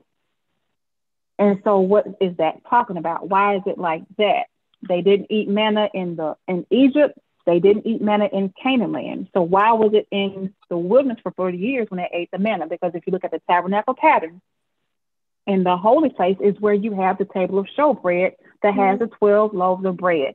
And so it can only be eaten Mhm. in the wilderness because it can only be eaten in the holy place. Because Canaan land is like into the most holy Gotcha. place, the, the wilderness of Sinai is like into the holy place, and Egypt is like the outer court. And so the bread can only be eaten in the holy place. So they could only receive that bread in the wilderness of Sinai for those 40 years that they were there. Um, so then, let's keep moving. Um, now in Omer is a 10th part of it. I, so before we get to that, so he, in 33rd verse, and Moses said unto Aaron, Take a pot and put an Omer full of manna therein, and lay it up before Yahweh to be kept for your generations. And as Yahweh commanded Moses, so Aaron laid it up before the testimony to be kept. Now, this is before the tabernacle was built. And so Aaron took that pot of manna and it and kept it for all those years. And it never bred worms, it never stank. All of this was by the word of Yahweh. Yahweh was testing it. All these things happened by the word of Yahweh. Right. That's right. Now, 17th chapter, water in the rock. All right. Anybody see anything in the 17th chapter of Exodus that they want to share? Oh, I got so many highlights. okay.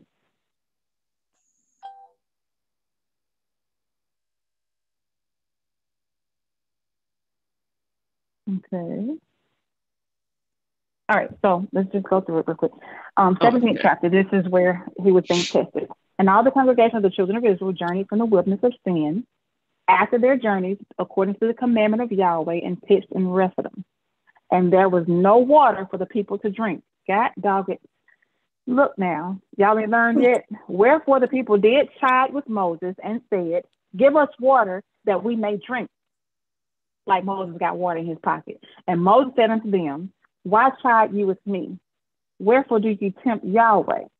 And the people thirsted there for water. And the people murmured against Moses and said, Wherefore is this that thou hast brought us up out of Egypt to kill us and our children and our cattle with thirst? And Moses cried unto Yahweh, saying, What shall I do unto this people? They be almost ready to stone me. And Yahweh said unto Moses, Go on before the people, and take with thee the elders of Israel, and thy rod, wherewith thou smotest the river, take it in thine hand, and go. Behold, I will stand before thee there upon the rock in Horeb, and thou shalt smite the rock, and there shall come water out of it, that the people may drink. And Moses did so in the sight of the elders of Israel. Now, Yahshua is the rock by which the law and the prophets stand on. And that he even told Peter, from mm-hmm. this rock, and it talks about First Corinthians 10 chapter, that rock that led them, that rock was the Messiah. So Yahshua is being mm-hmm. referred to as a rock, and they had to smite him. And when they pierced that rock in the side, out forth came blood and water. And he told the woman at the well, I am uh, living water. You should get living water from me, and after me, there should nobody thirst that drinks of this water. And so Yahshua fulfilled that when they had to smite him, being the rock as well. So anyway, um, so they smote the rock. So Moses smote the rock in the sight of the elders of Israel, and he called the name of the place Massah and Meribah because of, of the chiding of the children of Israel, and because they tempted Yahweh, saying, "Is Yahweh among us or not?" What kind of mess is that? After everything that Yahweh had done, Okay, smart. And Smart came- at the mouth. right? hmm Then came Amalek and fought with Israel in Rephidim. And Moses said unto Joshua, Choose out men and go forth, go out, fight with Amalek. Tomorrow will I will stand on the top of the hill with the rod of Yahweh in mine hand. So Joshua did as Moses had said to him and fought with Amalek. And Moses, Aaron, and Hur mhm, went up to the top of the hill and it came to pass when Moses held up his hand that Israel prevailed. And when he let down his hand, Amalek prevailed. But Moses' hand was heavy. And they took a stone, had to be a stone. And they took a stone and put it under him. Moses is the law, okay? Moses is the law. So they took a stone and put it under him. And he sat thereon. Moses set on the stone. And it talks about an Acts. This is the stone that was set of you builders. Mhm. This Yahshua is the stone. So Yahshua is the stone, and Moses, they put the stone under Moses, and he set Mhm. their own, and Aaron and Hur stayed up his hands. The one on the one side, and the other on the other side. And his hands were steady until the going down of the sun. So you have Aaron on one side, Hur on the other side, holding up Moses' hand. Two Okay. witnesses. The two witnesses, Aaron and Hur being the prophet, Moses being the law, and they were on the stone. And so that's where uh, every, the foundation is laid. There should no other foundation be laid other than the law and the prophet. And that's talking about Joshua. Anyway, and his hands were heavy and steady until the going down of the sun. And Joshua discomfited Amalek and his people with the edge of the sword. And Yahweh said unto Moses, Write this for a memorial in a book and rehearse it in the ears of Joshua, for I will utterly put out the remembrance of Amalek from heaven, from under heaven. And Moses built an offering call, call, altar, excuse me, and called the name of it um, Yahweh Nissi. For he said, because Yahweh has sworn that um, Yahweh will have war with Amalek from generation to generation. So that's important too when Saul comes along and he's supposed to do what he's supposed to do with Amalek. So Yahweh said that Amalek had to be destroyed. 18th chapter. Ooh, no time. Um, so when so when Jethro or Reuel, the priest of Midian, Moses' father-in-law, heard of all that Yahweh had done for Moses and for the children of Israel, that Yahweh had brought Israel out of Egypt, Reuel or Jethro, Moses' father-in-law, took Moses' wife Zipporah after Moses sent her back in the fourth chapter of Exodus, and her two sons, of which the name of the one was Gershom, for he said, I have been an alien in the strange land. That's why he named him Gershom. And the name of the other son was Eliezer. For Yahweh, um, the Elohim, my father, said he was mine help and delivered me from the sword of Pharaoh, which he's talking about when he had to flee from Pharaoh after he killed the Egyptians. And so that's why he named his two sons what he named them. Anyway, so Reuel, Moses' father-in-law, came with his sons and his wife and Moses into the wilderness where he encamped at the mount of Elohim. And he said unto Moses, I, um, so forth and so and so.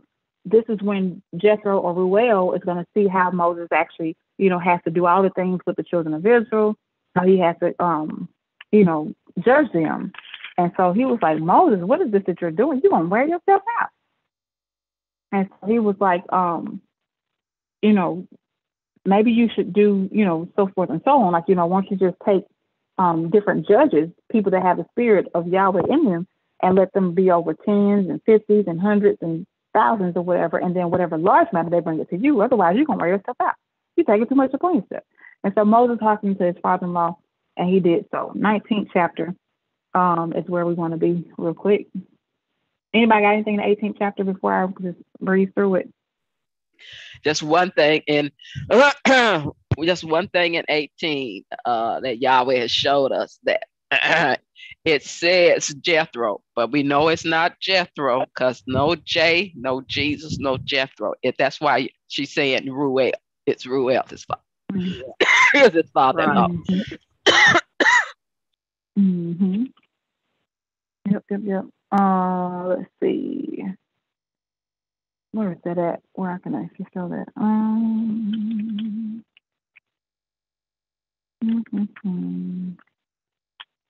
Shepherd. Okay, so that would be two and eighteen to prove that. Exodus two eighteen, just to prove it real quick. I don't like to leave nothing hanging. Exodus two eighteen, it says, and when they came to Reuel, their father, this is after Moses came up out of Egypt, and the women that were at the well, the seven women at the well, he ran the shepherds off and he um, helped them water their flock. And when they came to Reuel, their father, he said, How was it that you have come soon today? Blah, blah, blah. So that was his name, Reuel. Um, Moses' father in law's name was Reuel. But anyway, all right. Um, Exodus 19th chapter. Anybody got anything in the 19th chapter that they want to share? R E U B L. Hmm. I think there was something in 19th. Go ahead. Oh, go ahead. No, no, no, go ahead. Okay. Uh, let's see.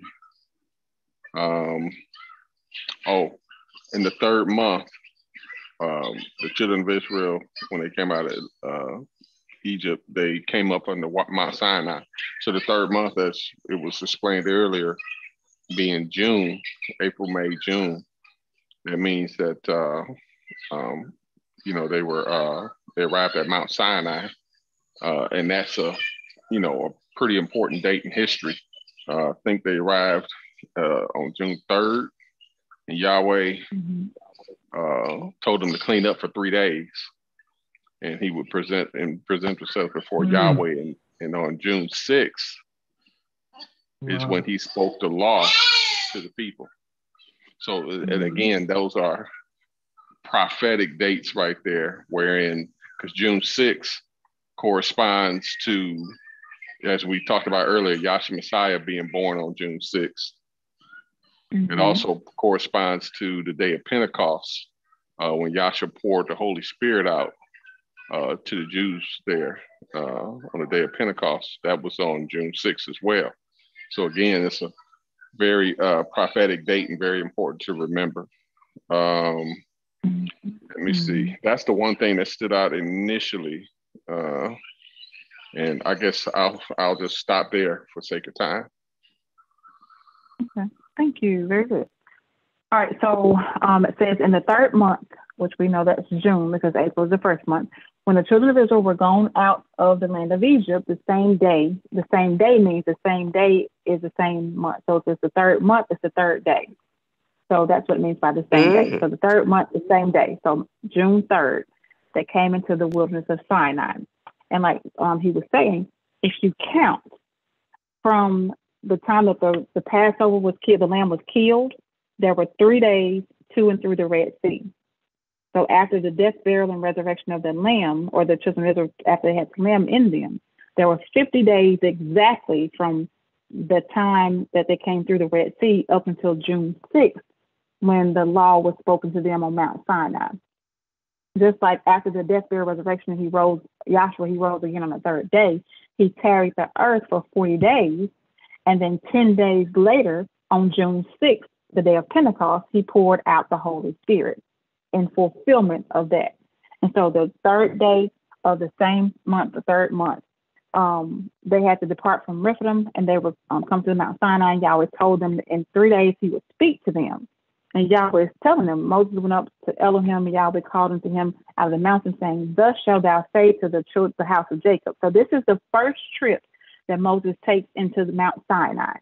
So Mount Sinai, Moses took three different trips into Mount Sinai. This is the first trip where Moses was on the plateau of the mount. He wasn't at the he didn't go to the top yet, but he was on the plateau of the mount. Um, it said Moses came, Yahweh came unto him out of the mountain, saying, Thus shalt thou say to the house of Jacob, um, Ye have seen what I did unto the Egyptians, and how I bare you on eagle's wings, and brought you unto myself.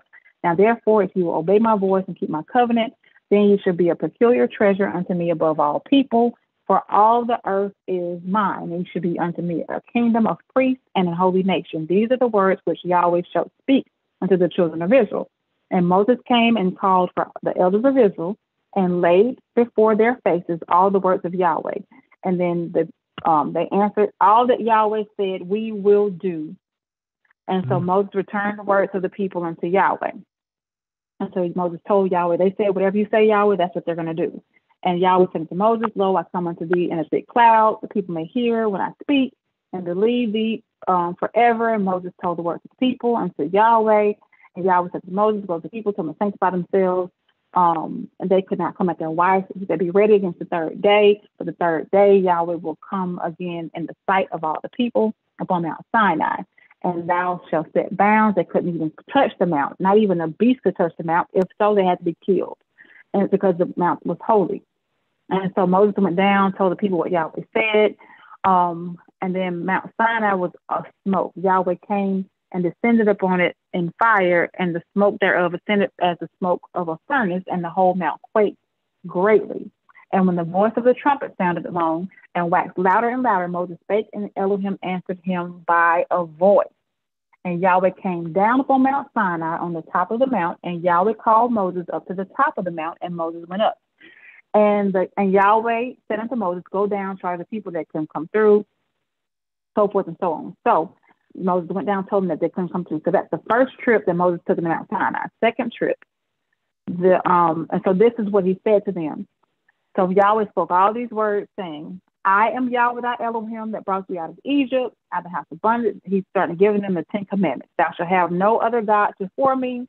Thou shalt not make unto thee any graven images. You shall bow yourself down to them um, you know, Yahweh visits the iniquity of the fathers on the children into the first, third, and fourth generation, which is talking about something too. And then the eighth verse, this is important. The eighth verse says, Remember the Sabbath day to keep it holy. Now, he could not say remember if he had not already told them about the Sabbath day. And so the world says that this is when he set up the Sabbath with them, and this is what the world talks about. No, in the 16th chapter, he set that up with Israel and Israel only. The world tries to take these commandments and make them theirs, but this is what Yahweh spoke to Israel. He said, Remember the Sabbath day to keep it holy. Six days shalt thou labor and do all thy work, but the seventh day is the Sabbath of Yahweh thy Elohim. In it thou shalt not do any work, thou nor thy son, nor thy daughter, thy maid servant, men servant, thy maid servant, nor thy cattle, nor the stranger that is within thy gate. He didn't say the whole world. He said those that are in within thy gate. For in six days Yahweh made heaven and earth, the sea and all that in them is, and rested the seventh day. Wherefore Yahweh blessed the Sabbath and hallowed it. Now Moses wrote this um, after he had seen everything. Now, all this had happened, but he wrote all of this down afterwards. I'm going to show you that in a minute. Honor thy father and thy mother, that thy days may be long upon the land which Yahweh thy Elohim giveth thee. Thou shalt not commit murder, thou shalt not commit adultery, thou shalt not steal, thou shalt not bear false witness against thy neighbor, shalt not cover thy neighbor's house, nothing that thy neighbor has. And all the all the people saw the thunderings and lightning, and the noise of the trumpet, and the mountain smoking. And when the people saw it, they removed and stood afar off. They were afraid. And they said unto Moses, Speak thou with us, and we will hear. But let not Yahweh speak to us, lest we die. And Moses said unto the people, Fear not, for Yahweh is come to prove you, and that his fear may be before your faces, that ye sin not. He's doing that to so y'all fear him, so you won't sin against him. And the people stood afar off, and Moses drew near into the unto the thick darkness where Yahweh was. And Yahweh said unto Moses, Thus shalt thou say unto the children of Israel, Ye have seen that I have talked with you from heaven, not the mount, but heaven. Why did he say heaven, even though he was on the mount? Because Yahweh is heaven itself.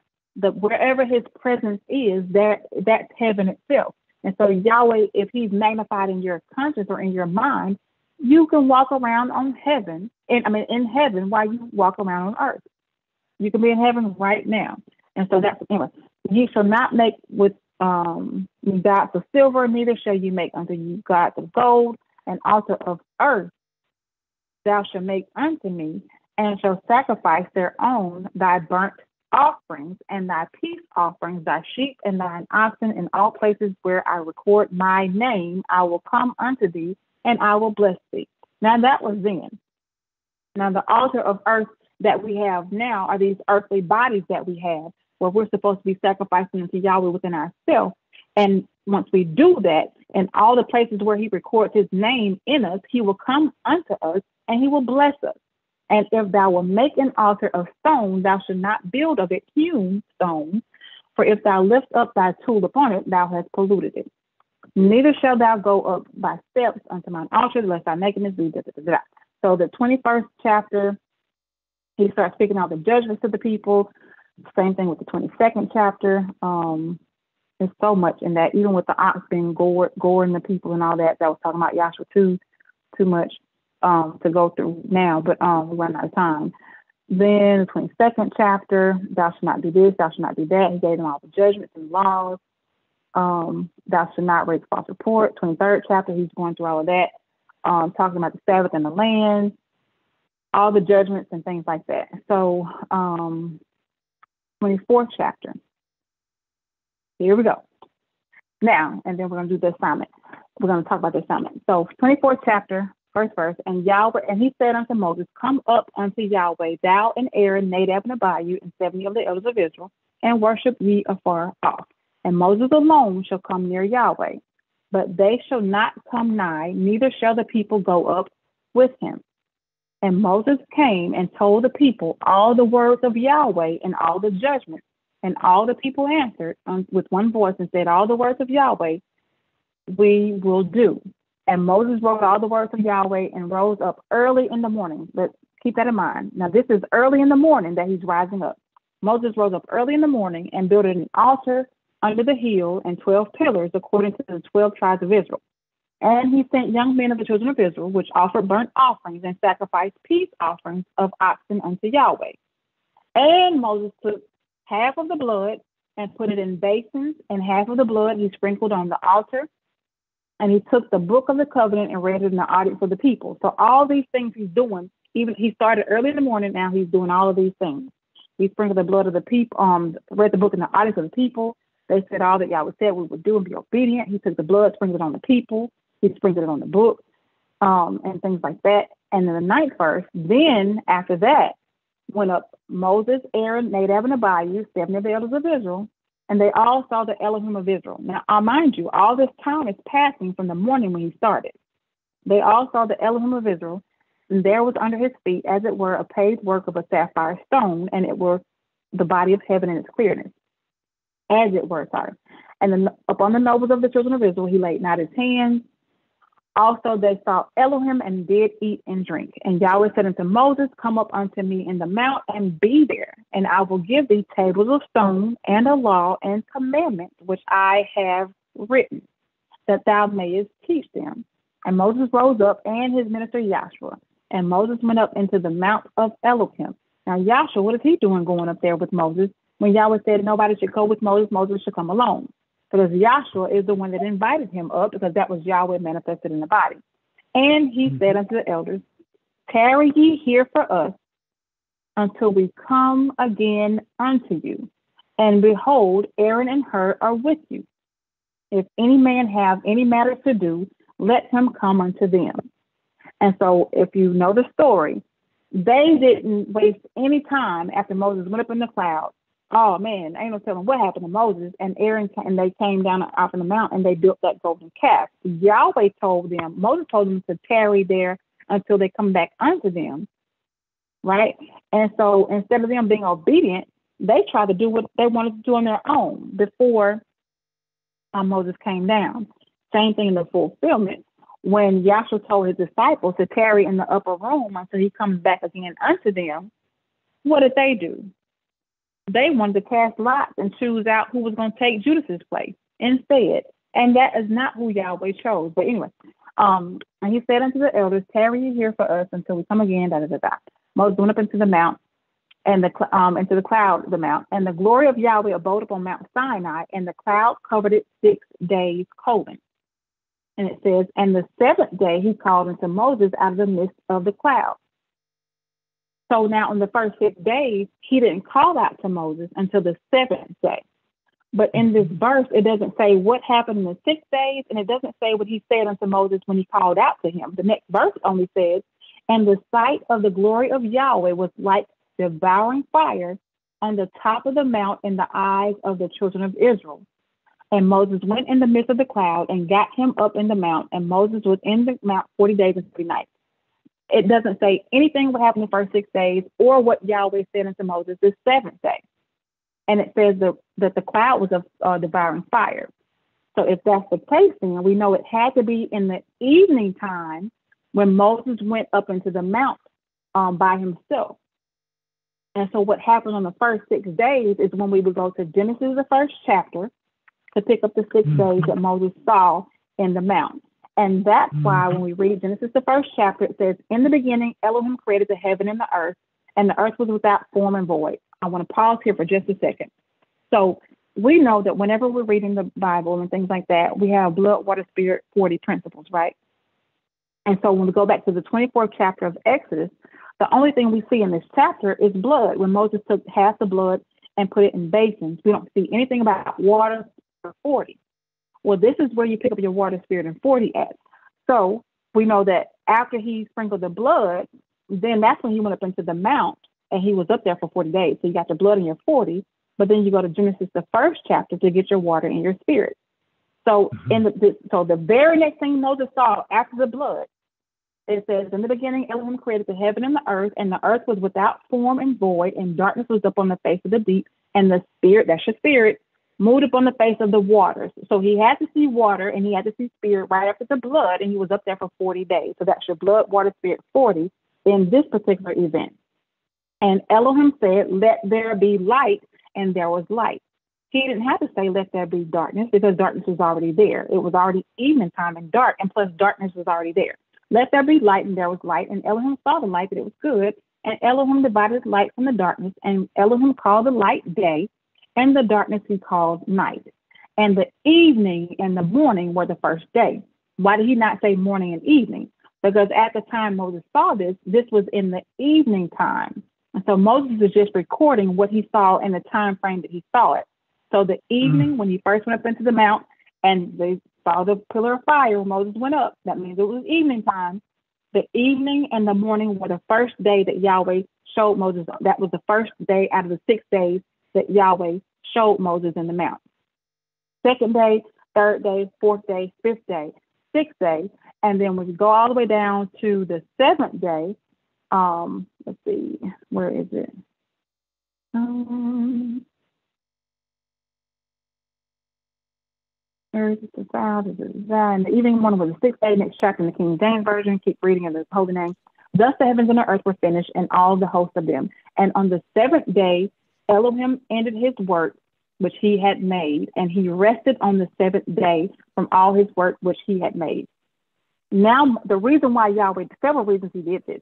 He did it this way for one reason, is to show Moses why in the 16th chapter of Exodus, he told them to get a, um, to, on the sixth day to get a double portion because he wasn't going to rain out any manna on the seventh day. Now Moses is seeing why. Because before this, when Yahweh gave him the instructions on the 16th chapter about the sixth day and the seventh Sabbath day, and in the 20th chapter gave them the law about remember the Sabbath day. Now Moses is seeing why Yahweh had it set that way. On the seventh day, Elohim ended his work which he had made, and he rested on the seventh day from all his work which he had made. And Elohim blessed the Sabbath day and sanctified it, because that in it he had rested from all his work which Elohim created and made. And that's it for the first chapter of Genesis. It still does not say what he said to Moses after the seventh day that we read in the 24th chapter of Exodus. This is where you get what happened the rest of those days that he was up into the mount. You go to the 25th chapter of Exodus. And that's when it said, and Yahweh spake unto Moses, saying. So this is what he said to Moses when it talks about in the 24th chapter, what says, and on the seventh day he called out unto Moses. This is what he said when he called out to Moses after the seventh day. And he spake unto Moses, saying, Speak unto the children of Israel. So now he's going to give him the next 33 days of those 40 days. He's given to Moses the instructions to build the tabernacle. And so if we mm-hmm. look at the 25th mm-hmm. chapter of Exodus, it corresponds to the first day of creation. The 26th chapter of Exodus corresponds to the second day of creation, so forth and so mm-hmm. on. So the assignment for next time we meet to, um, together will be to read Genesis, the first chapter, and then go back and read Exodus 25 through 31 and write a report on how the creation came in by the pattern. So if you can compare the first day of creation with the 25th chapter of Exodus, the second day of creation with the 26th chapter of Exodus, so forth and so on, you should be able to see those different um, vessels that he told Moses in the 25th chapter should correspond with what came about in the first day.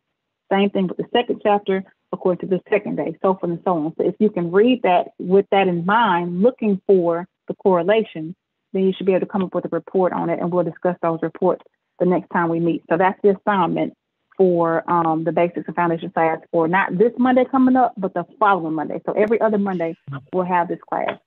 And if you just doing tonight, if you want to come. Mm-hmm. Excuse me. Say that mm-hmm. again. Say that again, Carla. okay. So we're going to read Genesis, the first chapter, and then mm-hmm. Exodus 25 through 31. And so we're going to cor- we're going to correlate the 25th chapter with the first day of creation, and the 26th chapter it goes with the second day of creation. 27 goes with the third day. 28 goes with the fourth day. 29 goes with the fifth day. 30 goes with the sixth day. And then the 31st chapter is when he kind of finished everything up. So if you read the 25th through the 31st chapters, you should be able to go back and correlate it to each day of creation um, where Yahweh showed Moses the creation by the pattern. And so this is what he was talking about in Romans 1 19 and 20. For that which may be known of Yahweh is manifest in them, for Yahweh showed it unto them. Um, you know, even the things from the creation of the world are clearly seen, being understood by the things that are made. And the reason why we know he was talking about Israel, if we keep reading, it talks about, you know, what he shows them and things like that. So he was talking about Israel in uh, Romans 1 19 and 20, because that which may be known of Yahweh is manifest in them, them who? Israel. For Yahweh has mm-hmm. showed it unto them. Right. For Yahweh has showed it unto them. For the invisible things of Yahweh or for the for the invisible things of Him from the creation of the world are clearly seen, being understood by the things that are made. Even you can even understand His eternal power and His supernal nature, so that they are without excuse. So nobody has an excuse because that when they knew Yahweh, same day, they glorified him not as Elohim, neither were thankful, but became vain in their imaginations, and their foolish heart was darkened. Professing themselves to be wise, they became fools, and changed the glory of the uncorruptible Elohim into an image made like to corruptible. He's talking about Israel, because that's what they did out there in the wilderness um, when Yahweh was, you know, giving them the instructions and things like that. So he's talking about Israel. But everything that you um, can know about Yahweh are clearly seen being understood by the things that are made, by this tabernacle pattern that he gives to Moses. And so that will be the first assignment that we're going to do moving forward. And then we'll get off into the tabernacle some more when we come to class or um, the next time we meet for the basics and foundation class. So we'll do the reports first part of class, and then we'll start breaking down the tabernacle um, and have another assignment with the tabernacle um, the next time we come meet for the basics and foundation class. Any questions or comments?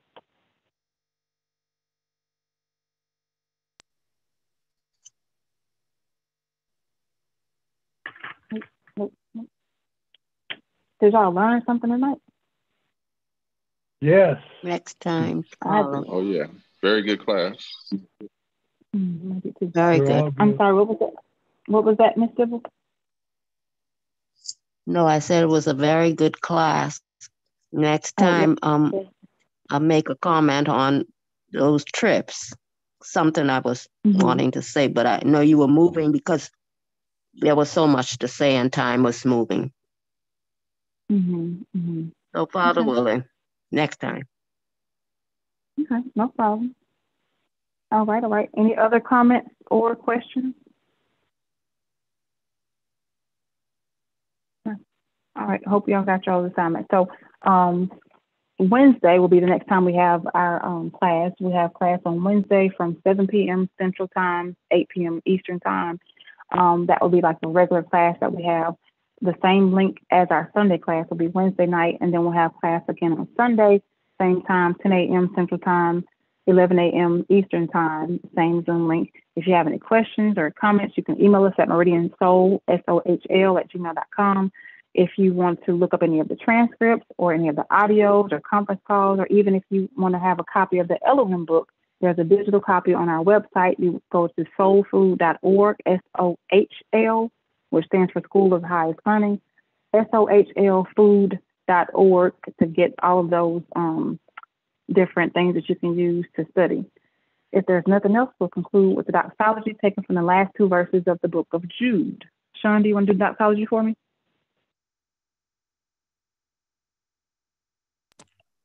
All righty. Now unto him that is able to keep you from falling and to present you faultless before the presence of his glory with exceeding joy. To the only wise Elohim, our Savior, through Yahshua the Messiah, our sovereign, belong glory and majesty, dominion and power, both now and ever. Let us all say hallelujah. Hallelujah. Hallelujah. Hallelujah. Mhm.